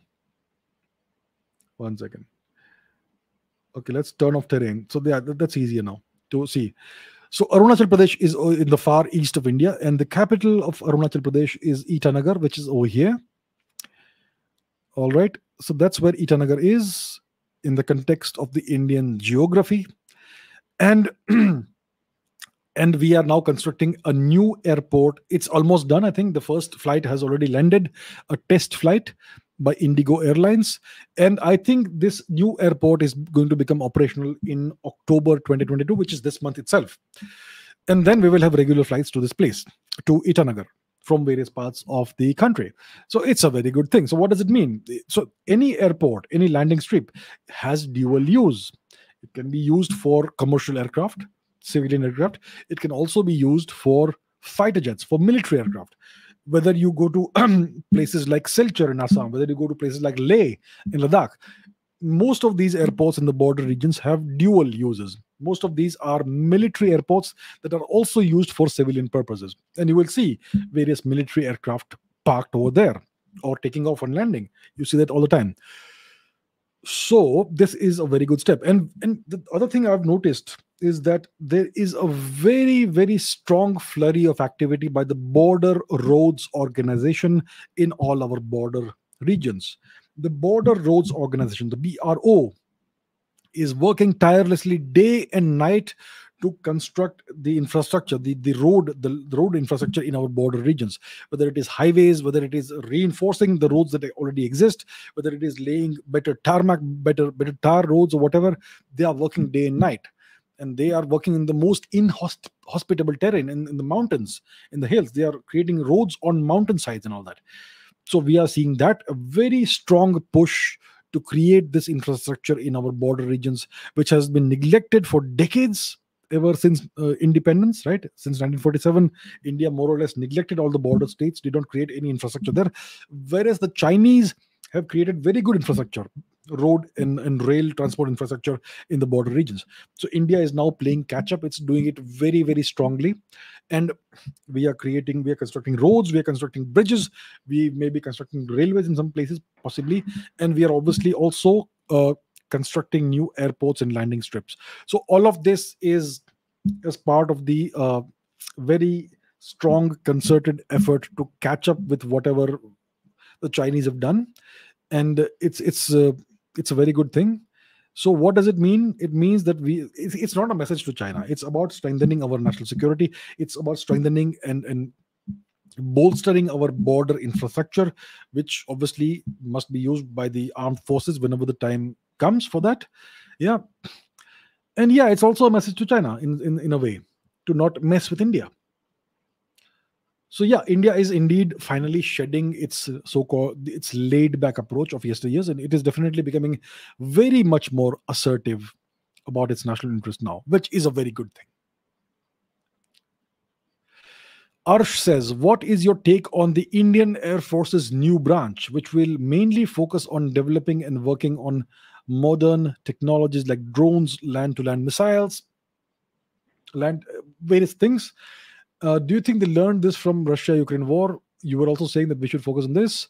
Um, okay, so let's see what the news says about this. One second. Um, yeah, let, let's put this article on the screen so that we understand what's happening. So this is a news article from this month itself, about a couple of weeks uh, before today. So India get uh, the IAF, the Indian Air Force, gets a new branch for weapons systems, and it's going to uh, it's going to span four specialized streams: surface to surface missiles, surface to air missiles, remotely piloted aircraft, and weapon system operators in twin and multi crew aircraft. It's a very good thing. So essentially what we are doing is we're going to save a lot of money and we're going to save a lot of effort. So what does this mean? It's going to save a lot of money. The new branch will result in a saving of more than 3400 crore rupees due to reduced expenditure on flying training it will unify all weapon system operators of the IAF under a single entity for operational development of all ground based etc weapons and so on and so forth. So it's a very good thing. We are finally going to do it in a centralized manner. There is going to be no no duplication of effort, no redundancy. This is going to be a single uh, branch. Think about it like this. Right now, if you have a twin-seater fighter plane in which you have two pilots, right now both of these people in in the twin-seater plane have to be trained pilots. And they also have to be trained on how to operate various weapons systems. So the guy sitting in the front is going to be flying the plane. The guy sitting in the back back is going to be manning the weapon systems. But both have to be trained pilots. Now with the creation of this new branch the guy sitting in the back the guy who is manning the weapon systems does not need to be a trained pilot so you are cutting down on the unnecessary training that person can be a specialist only in weapon systems. He doesn't have to know how to fly the plane. The guy sitting in the front will be, will be flying, flying the plane. The guy sitting, sitting in the back will be specializing in how to use the various missiles and whatever else we are deploying on the aircraft. And the guy sitting in the front does not have to worry about using the weapons. He only has to focus on the flying of the of the aircraft. Similarly, there are certain such roles in combat helicopters as well, and so on and so forth. So this new branch is going to train and specialize in only the weapon systems, which is going to be a very essentially a game changer for the Indian Air Force. So it is a very good development. Finally, we are reconfiguring the armed forces. We are modernizing the armed forces. It's a very good development. Mm, obviously, the armed forces have to keep changing, keep evolving with the changing times. Yeah, we have to focus on efficiency on on cutting down on of unnecessary uh, expenditure cutting down on unnecessary redundancy and all that so this is now being taken up very strongly uh, with a great amount of seriousness it's a very good step it's a, it's a very good uh, initiative the government has done and the armed forces are, are undertaking is very good. Uh, have we learned this from the Russia Ukraine war? I don't think it's only about the Russia Ukraine war. It's about how the the global military landscape is changing. With the advent of new technologies with the advent of more threats different kinds of threats we have to keep evolving. We have to stay agile from the armed forces perspective and that's what we are doing. I obviously have said that we have we should focus on this. We should focus on streamlining and reforming the armed forces making the armed forces a more lethal fighting force in a variety of ways. So yes this is a very good step in that direction. I'm really happy to see that. And this is one step we need to take many more steps in this direction but i am really glad to see that this is happening. So yeah overall a very good step. Neeraj jangid says in a recent interview joseph borrell representative of the eu for foreign affairs said that since the second world war europe has built the best combination of political freedom economic progress, and social cohesion. These three pillars have made Europe great to live in organized society. He also said that most countries lack one or two of them. What's your take on this? And what's India's position on these three fronts? How can it be improved? So, this individual, Josep Borrell, is a Spanish politician or something like that. He, like you said, is a represents the EU from the perspective of foreign affairs or whatever it is. He's in some high-ranking position. And recently he gave this gave this speech in which he said that Europe is like a garden and other nations are like a jungle. Right? And he said that Europe uh, has built the most perfect and most organized society that ever has existed. Europe, um, let's see what, what the media report says. I'm sure there is something we can pull up. One second. Give me a second. Let me pull that up. Okay, Joseph Borrell. What do we have to see about him? All right, where is Mr. Borrell? Here we are. Joseph Borrell apologizes for controversial garden versus jungle metaphor, but defends what he said. So uh, he says that he did not mean to be racist or it had no racist or cultural or geographical connotation, include uh, and so on. That's what he said so he said that Europe is a garden. We have built a garden. Everything works. It's the best combination of political freedom, economic prosperity, and social cohesion that the humankind has been able to build. The three things together. The rest of the world, he said, is not exactly a garden. Most of the rest of the world is a jungle, and the jungle could invade the garden. He then referred to the EU ambassadors as gardeners and urged them to go to the jungle and and maybe you know reform the jungle or civilize the jungle or whatever and so on. So that's that's what this individual has said. So what is my take on this? We have to understand something about europe. How did let's say europe is a, is a garden right now. How did it become a garden 500 years ago europe was the worst of jungles. How did europe become so prosperous?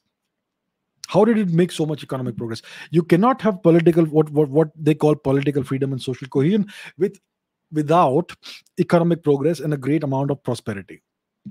How did they achieve what they call economic progress? They the europeans achieved economic progress by destroying the rest of the world there there were gardens outside of europe in the past they destroyed those gardens and turned those gardens into wastelands and jungles and they plundered everything of value out of those gardens, including Africa, including China, and mainly India, and enriched themselves at our expense.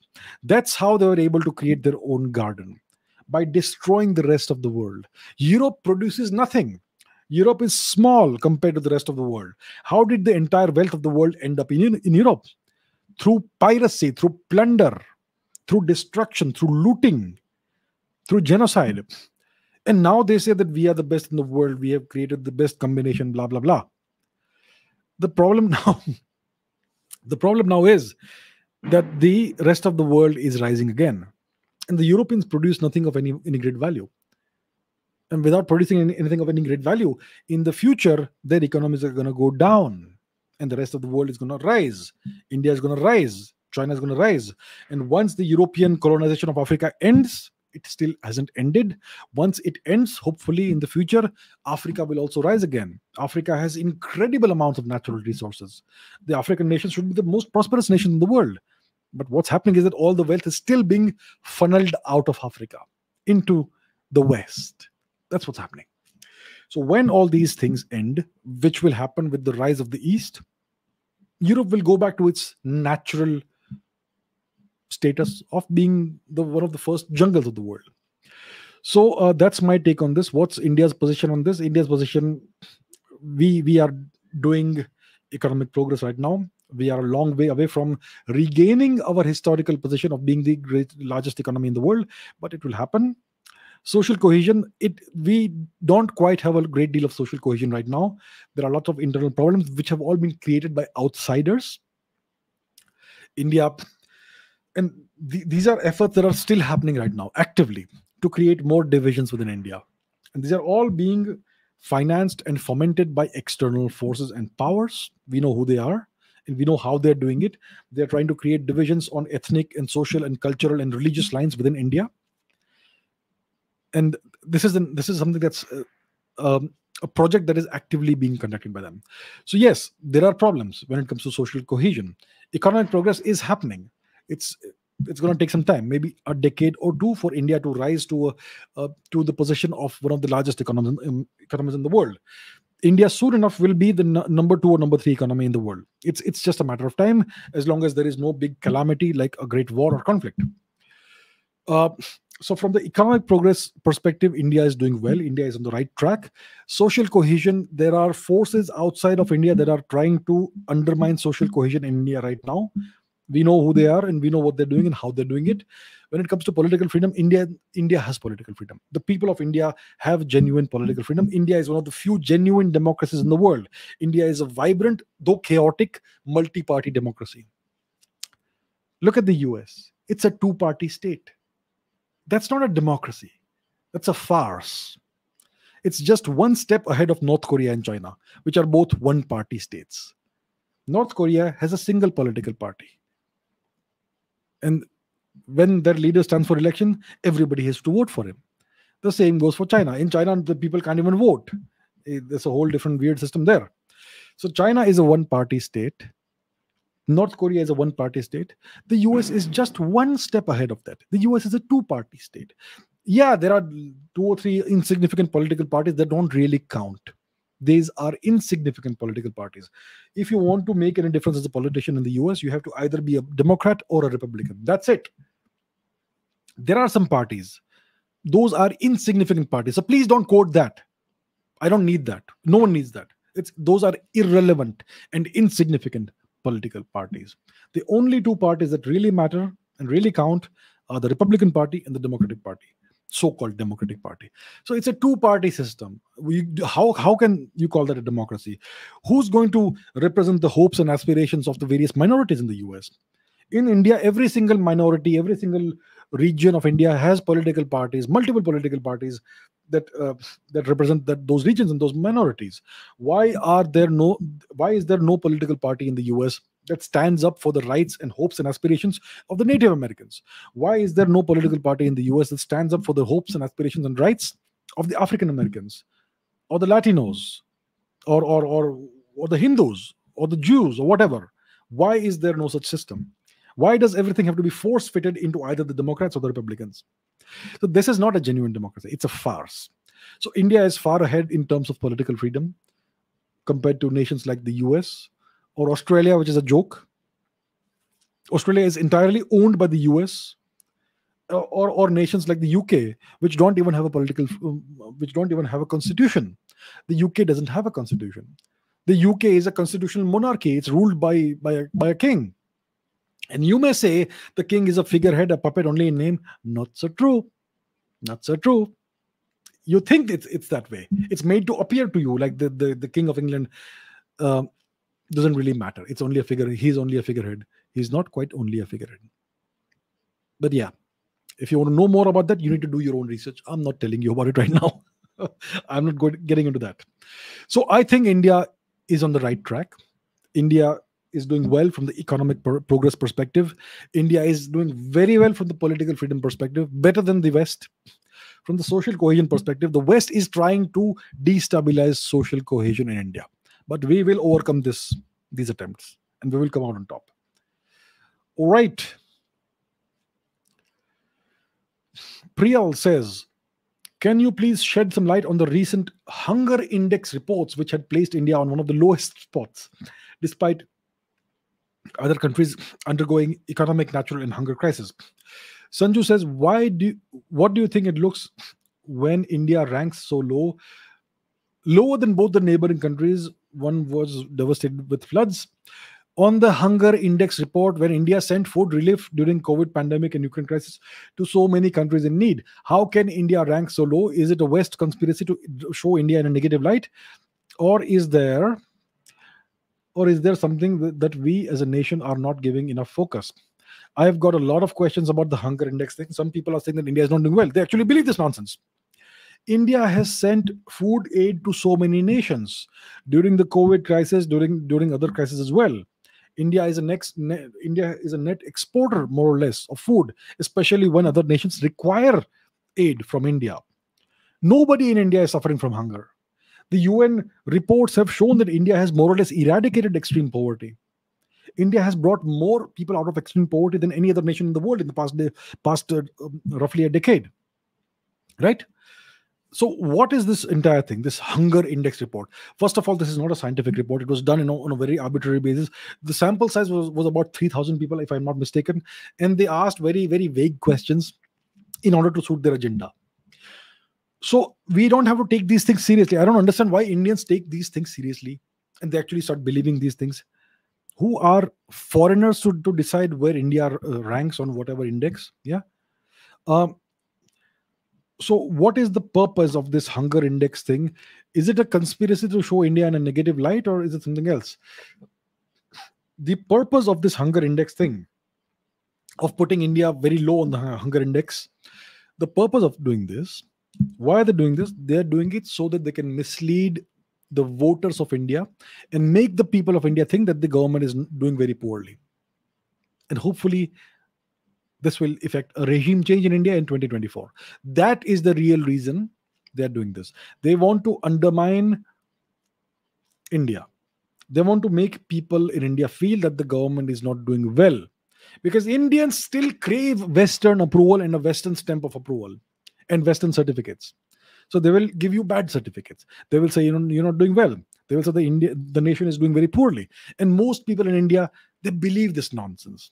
So the objective is to hopefully, from their perspective, overthrow the current government in 2024 and bring a weak government to power, or maybe a government led by one of their favorite puppet individuals.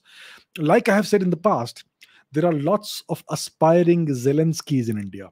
I am not pointing fingers at any individual. I am not taking anybody's name. I'm not even going there. But you know what I mean. There are plenty. There is no shortage of aspiring Zelenskys in India. Zelensky is, is a NATO puppet. He's a Western puppet. He's not serving the people of Ukraine.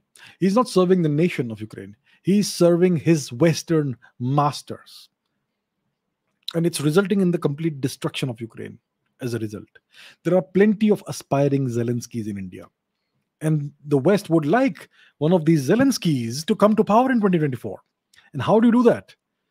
You do that by making people doubt the performance of the, go- of the government, by issuing these false uh, indices in reports and saying that India is doing very poorly in the hung- hunger index. Indians are starving to death. What absolute nonsense. So please don't believe this nonsense. These are all lies and fabrications designed to mislead you, the people of India. Do not fall prey to these manipulations and distortions and lies. Please don't. That's all I say. Okay. Vishnu says, What is the geopolitical stand of Brazil? Because it is a member of BRICS, the Chinese bloc. Okay, and uh, it's counted as a strategic ally of the US, but the US doesn't support its ask for per- permanent seat in the UN Security Council, at least through words. Why the, is Brazil the sixth largest country and perhaps the big, biggest economy in Latin America? Why is it unable to influence world politics and economics? So you can't influence world politics and economics without having an independent foreign policy and without uh, being a major power. It may be the sixth largest nation in the world, but it, from the economy perspective, it's it's not a big economy. If you're not a big economy and you are subsidiary subsidiary to other bigger powers, then you are insignificant and irrelevant. So Brazil does seek some. Okay, let's understand the history. Have you heard of the Monroe Doctrine? The Monroe Doctrine was the US foreign policy in the 19th century, more or less, since the 19 since the 1820s onwards. So you had the Napoleonic Wars. So understand this: the Americans broke free of the UK of, of England in the American Revolution. They became an independent nation. Uh, then you had a lot of French involvement in North America. Uh, the Americans brought the Louisiana thing from Napoleon for a very cheap price. Then they later bought, bought Alaska from the Russians. Then they were able to evict the French more or less from North America uh, in a variety of ways. Then there was a great deal of Spanish colonization in South America. Uh, I hope you all know where South America, North America is. If you don't, let's go to the map because that's what we do. So let's take a look at the map. We're talking about Brazil and North America and the Western Hemisphere. So the Western Hemisphere is right here. North America, and South America. Brazil is the largest nation in South America. So the, in the in the 1900 in the 19th century, the Americans had the Monroe Doctrine, which opposed any European involvement in the geopolitics of the Western Hemisphere in any way whatsoever. The Americans said that we will oppose any European effort to influence outcomes or to colonize any nation in the Western Hemisphere. When this doctrine was put forth in the 1820s, at that time the Napoleonic Wars had ended, and most of the nations of South America had more or less broken free of Spanish colonization. So the Americans said that we will not allow, we will oppose any further attempts by European nations to try and colonize any nation in the Western Hemisphere in the Americas, which essentially said that we are going to be the dominant power, the dominant force in the Americas, and we will enforce this dominance militarily. And the Monroe Doctrine did not put any limitations on to what extent the Americans could, you know, influence things in the Americas. Um, so that's what that's what the Monroe Doctrine was. Eventually, you had all these weak nations that that emerged out of the Americas. The Americans fought several wars. There was the um, U.S.-Spanish War as well, which uh, led to the freedom of Cuba and uh, various other conflicts. Uh, Hawaii was annexed by the Americans as a consequence of the Monroe Doctrine. Then you had the First World War, the Second World War. The Germans opposed that. The British also opposed that, but eventually the Americans came out on top. And all the nations in the Americas essentially were subsidiaries to the American uh, national interest and American foreign policy. As a consequence of this, you had various weak nations in the in the Americas, including Brazil. Now, now Brazil is is a large nation from the geographical area perspective. It's not a major economy. It's it's not a very strong economy uh, it does obviously seek some independence. It does. Every nation seeks independence. Every nation seeks to no longer be somebody else's vassal state, and that's why Brazil is part of the BRICS bloc. I would not. Yeah, BRICS is still more or less dominated by China, but Russia and India together can very much counterbalance China in BRICS. And now more nations want to become part of BRICS. I believe Argentina also wants to be part of BRICS. Uh, Iran has applied to be part of BRICS. One hears that Saudi Arabia also wants to become part of BRICS. So we are witnessing a global realignment of, of the of the of the entire global world order. Uh, so the question is why is Brazil unable to influence world politics? Because it is not a strong nation. It doesn't have a strong economy. It's not a major economy. I don't think Brazil is in the top 10 of the economies, unless I'm mistaken. It's not a major economy. It's not a major military power as well. There is no major military power in the Americas except, apart from the United States. No other nation is a major military power, and so on. So, because of these these factors, Brazil is currently not able to have any kind of genuine major influence on world politics, world geopolitics, or world economics. For that, you have to become first of all a large economy, a major economy, and then you also have to build up your own military strength based on the kind of economy you have. And you also need to have an independent foreign hmm. policy.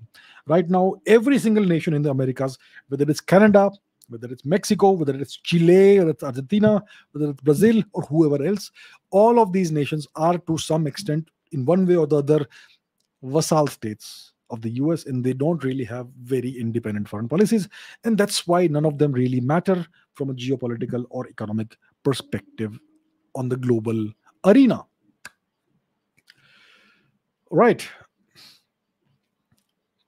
Sambit Jena says In the Falklands War, in the Falklands Island War, Argentina was the aggressor. Yes, sir. Sambit Jena asserts that Argentina was the aggressor in the Falklands Island War. I, I think I've said this multiple times. In public perception, the person who strikes first is always seen as the aggressor. The, the, the person or the party that is the first to take kinetic action is always seen as the aggressor. Now let's let's take a look at the geography of the of the of the Malvinas. Right, all right, we are at the right place. So the so-called so let's see where where the UK is. You see where the UK is? It's over here, right? Can you see United Kingdom over here on the map? Yeah, this is the UK. Now let's see where the Malvinas Islands are, or the so or the Falkland, the so-called Falkland Islands are. Go several thousand kilometers southwards, cross the equator, keep going thousands of kilometers south, and all the way here near Antarctica, off the coast of Argentina, you have the Malvinas Islands. Let's let's try and calculate the distance in a straight line from the Malvinas to the UK, roughly. Measure distance from here all the way to, let's say, London.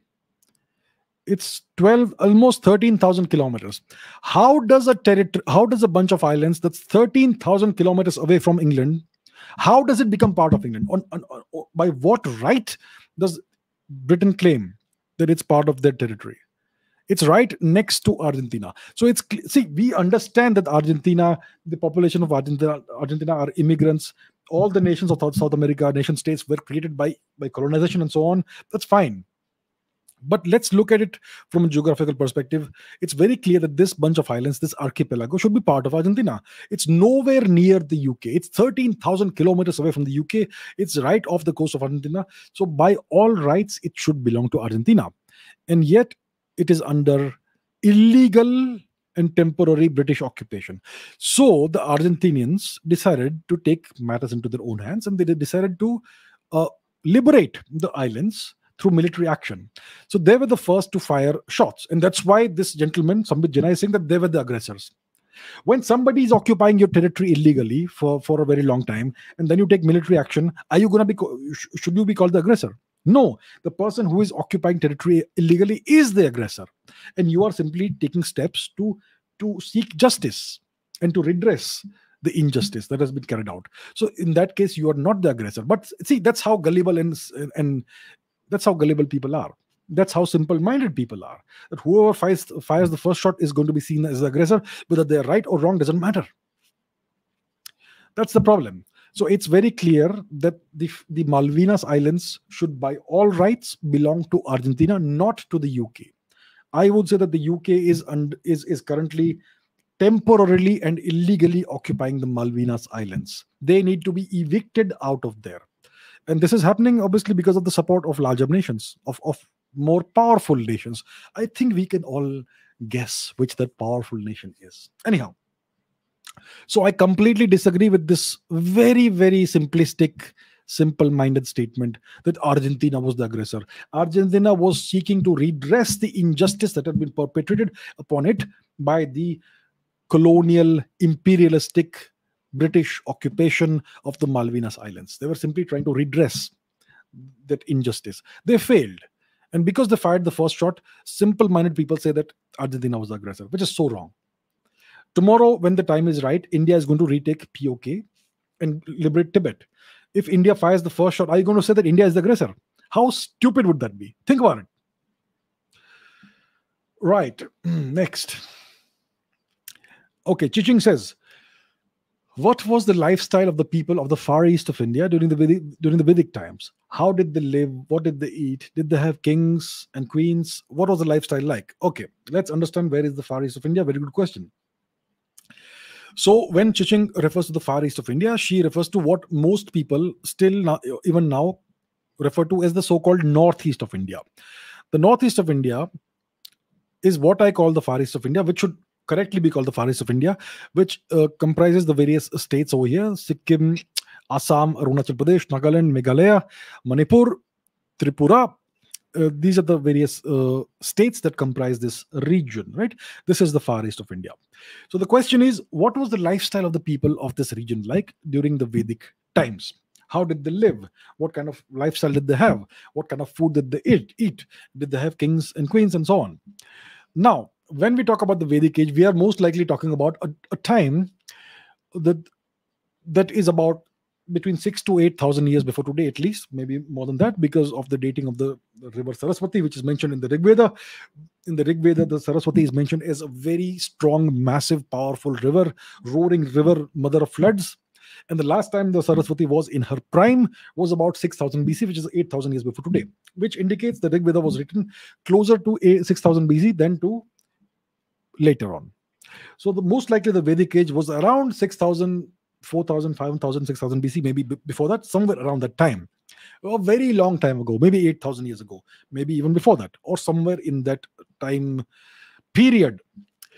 So during this time, what was the lifestyle of the people of the Far East like? We don't know. There are no records that we have. And nobody has done any archaeological work in this region of any significance.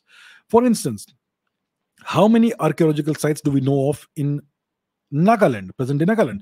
How many archaeological sites do we know of in, in Manipur, in Meghalaya, in Mizoram, in Tripura? Almost none at all. I don't know what the archaeologists and historians are doing in this region. Almost no work at all. So we don't know what archaeological sites exist there. We don't know what archaeological artifacts we can find from this region, and we don't know what the lifestyle was, was like at the, at the time. What we do know is that the region of which is now known as Tibet and and the so-called Xinjiang, temporarily occupied by China, it was once known as Uttarakuru. This was in a time after the Vedic age, right after the Vedic age. At that time, there was no Tibet. There were no Tibetan people living there. This entire region was inhabited by Indian origin kingdoms and people. And so was Uttaramadra, which is present day Central Asia. So around 5,000, 6,000 years before today, there were no Tibetan people living in this, in this region. There were Indian origin people living here. Even during the Mauryan era, where uh, the Khotan kingdom was founded by Indians from the Mauryan uh, era of India, Khotan, and, and so on. So it looks like the various other people who live there today, the so-called Uyghurs, and the our good friends, the Tibetan people, etc., they came in later from further east, from further east. Uh, and we know that the most of the languages that are spoken in the far east of India are classified classified as Tibeto-Burman languages.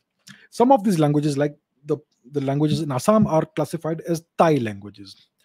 So it looks like at some point in time, people migrated into the far east of India from further east, maybe from the Yunnan region of, of, of currently temporarily in China, or maybe from, from further north, from the Mongolia region or somewhere else.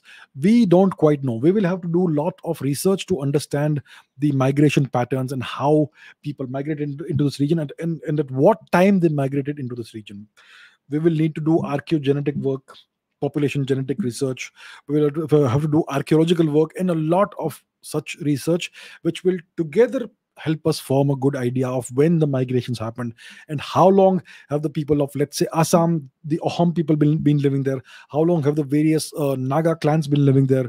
The various uh, the, how long have the Meitei people been, been living in in the Manipur region and so on and so, the Mizo the Mizo people and so on currently we have uh, next to no idea at all because our historians have not done their job our archaeologists have not done their job. So unfortunately i don't have the answer. Nobody has the answer. You will have some historians who will make certain claims but those claims will be baseless because nobody has done the research on which you can make such claims. You go to the university of Manipur in Imphal, you go to the University of Nagaland in, in Kohima or whatever. I would like to go to those places and, and talk to the professors of history over there and ask them, what have you guys been doing? Unfortunately, they, they've been doing nothing. So, as of today, as of 2022, nobody has the answer of what was the lifestyle of these people like. Uh, most likely, the people who live in the far east of India today, whether it's in Nagaland, Manipur, Assam, Meghalaya, or whatever else, most likely some of their ancestors came from further east or further north and some of their ancestors would have been part of overall the the western regions of India. Obviously, it's it's all a mixed bag. It's a it's it's um, you don't have a single line of ancestry. You have thousands of lines of ancestry. That's how it is. So um, the answers still elude us because our historians and our researchers have not done their job. Uh, so I don't know as of today. No one knows what kind of lifestyle they had, what they ate. Did they have kings and queens? Of course, they had kings and queens. Uh, historically, most of us, us as in Homo sapiens, most most humans have always had the uh, monarchical system, kings and queens. Democracy is a fleeting experiment. We had uh, an indigenous form of democracy in India for the longest time, the Janapada system, uh, that no longer exists. Today, we are laboring under this false Western democratic system. but historically, human beings have always lived under kings and queens. Some of them have been good, some of them have, may have been bad, but it's always been the monarchical system. So, yes, the ancestors of the people of the far east of India would definitely have had kings and queens. And most likely, they would have come from, most of them would have come from further east at some various points in time. And many of their ancestors would also have come from the west of the region, which uh, which is colloquially called as mainland India, which is not exactly a correct term. Anyhow, that's what one can say about this. Saurabh says, How many evidences of burial of selected bones after cremation were found in the Indus Valley civilization? What about cemetery bur- burials there? Uh, the, were they first generation immigrants or original inhabitants? That's a good question. Uh, let me put something on the screen. Okay. Uh, this is something I had tweeted a long, long time ago. Not a very long time ago, I think 2019 or something. So there is this uh, paper that has been published and which and I have summarized it over there. There is evidence that the Harappans practiced cremation. There is strong evidence that cemetery burial was limited almost exclusively to first generation immigrants. Hence, burials may not represent the Harappan population at all. And let me show you the actual paper itself, what it says. Where is it? Here it is evidence for patterns of selective urban urban migration in the greatest Indus, greater Indus Valley region and so on. So it says that um, what does it say? So essentially, if you read the paper, it tells you that the paper says that it is quite likely that whatever burials you find in the Saraswati Sindhu region may actually represent first generation immigrants to the region. And it is quite it is quite possible that the majority of the population of the region practiced cremations.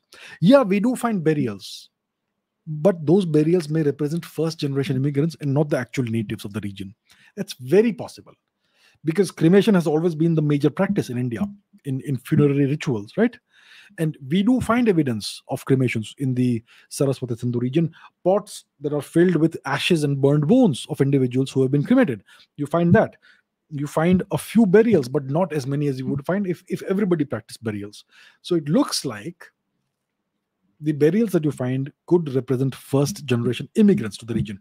Why would there be immigrants to the region? This was the most prosperous region in the entire world the most technologically advanced civilization that ever existed and the most prosperous region in the whole world at the time. Today, everybody wants to go to the US because it is so advanced and so prosperous. So, in the old days, there was India, that was the Saraswati Sindhu region. So, people from all over the world wanted to come, immigrate there, and settle down there. And people from elsewhere would have had different customs. So, after a generation two or two, they would assimilate culturally with the local population, and then they would practice the same customs but maybe the first generation immigrants would continue practicing burials and that's what probably likely these uh, burials that we find represent. So that's a possibility. So that's uh, what that paper tells us and that's i would say a significant possibility. Does height matter for guys? Well yes and no. I mean if you're tall you don't complain about it. It's, it's good.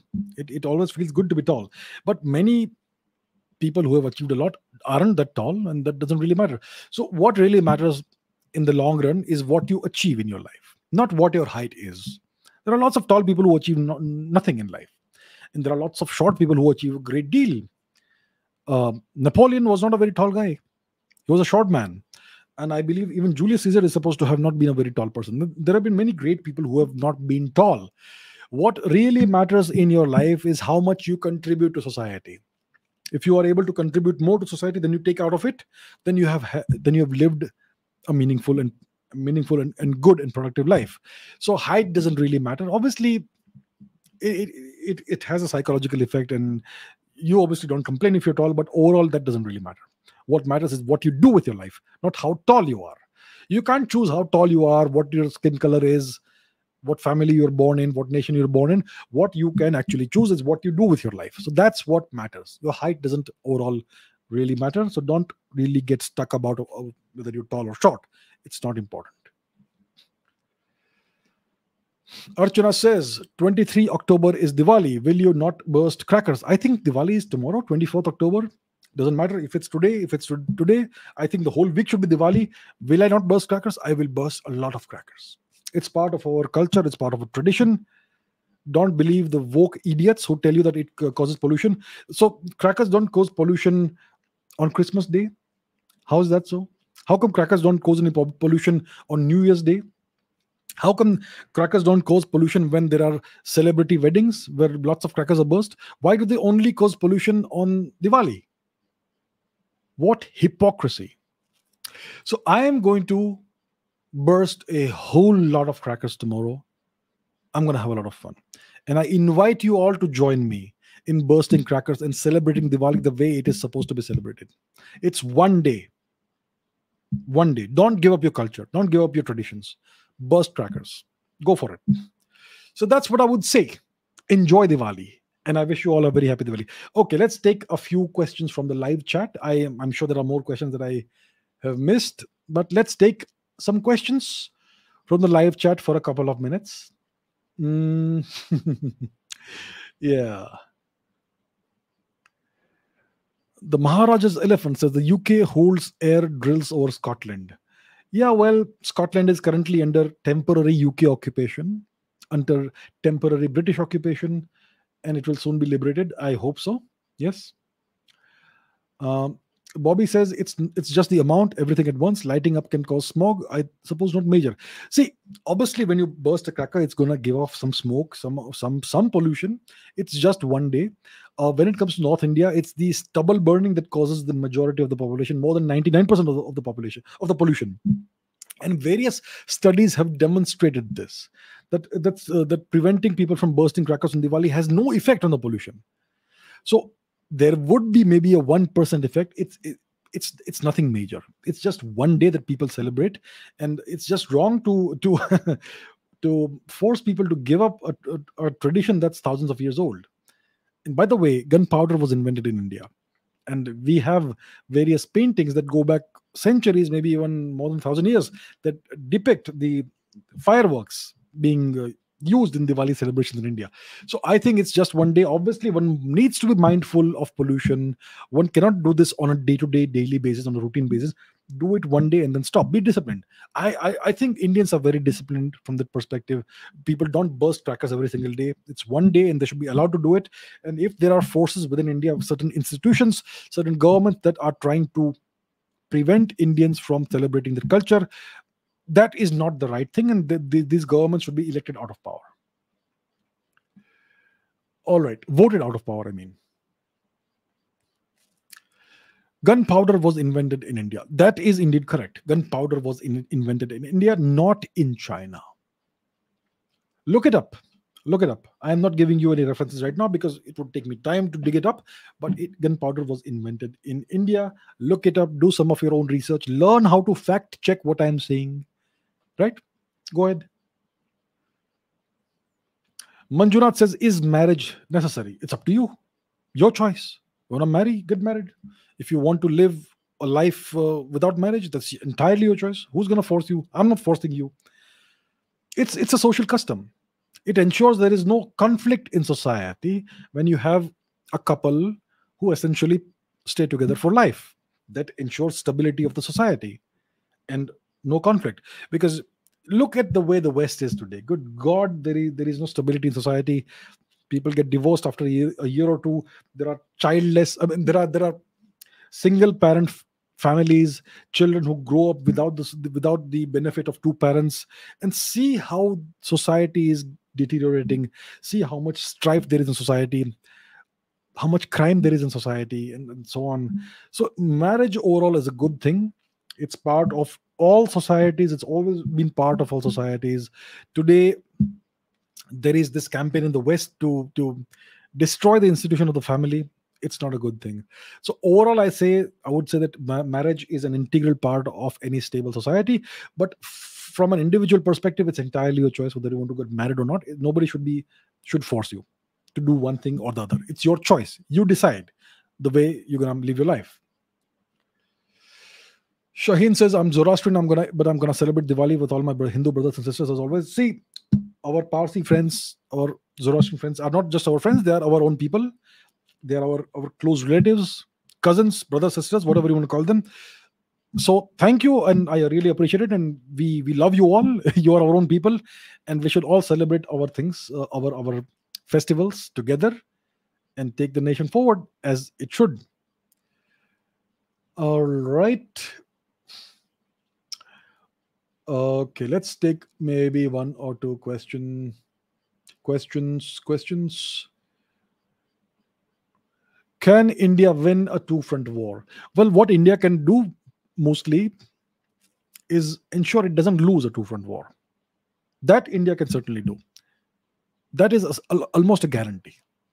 That's almost a guarantee that India will certainly not lose a two-front war because India has various tools at its disposal that can be used when certain red lines are crossed. So India certainly cannot be defeated in a two-front war. In a few years, India will actually be in a position to win a two-front war. Give it some time and work hard to make India a $10 trillion economy. All of you together. Once we do that, we're going to win a two-front war if required, if it ever happens. All right.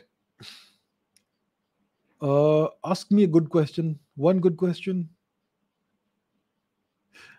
Mm, Roger says UK is paying eight hundred thousand dollars to hide Mountbatten's diaries. Why?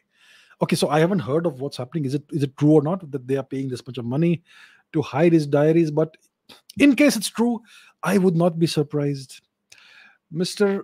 Mountbatten, Herr Battenberg, he was a man of certain unusual proclivities that would be considered to be criminal tendencies today.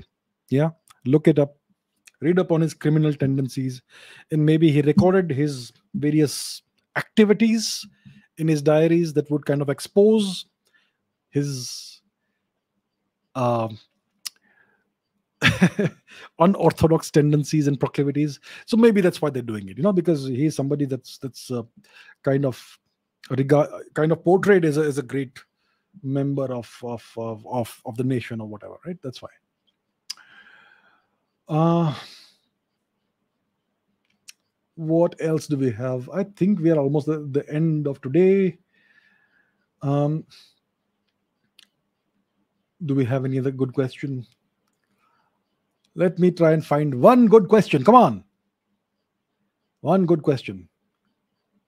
Um, how can I be smart like you? I'm not smart, man.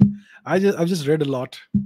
I've just read a lot. I've always been curious. I've always read a lot since I was a kid, and that's why I have a whole lot of what people in the past considered to be completely useless knowledge, but maybe it's not so useless see uh, don't ask yourself how you can be smart like person x or person y or person z ask yourself how ca- how can you reach the full the maximum of your potential so you do that by being open minded by being curious by by always being receptive to knowledge most of us we stop learning after as soon as we are out of the education system that is a very bad thing you should never ever stop learning so as long as you keep learning you're going to keep growing and you're going to be smart so that's what I could say in brief.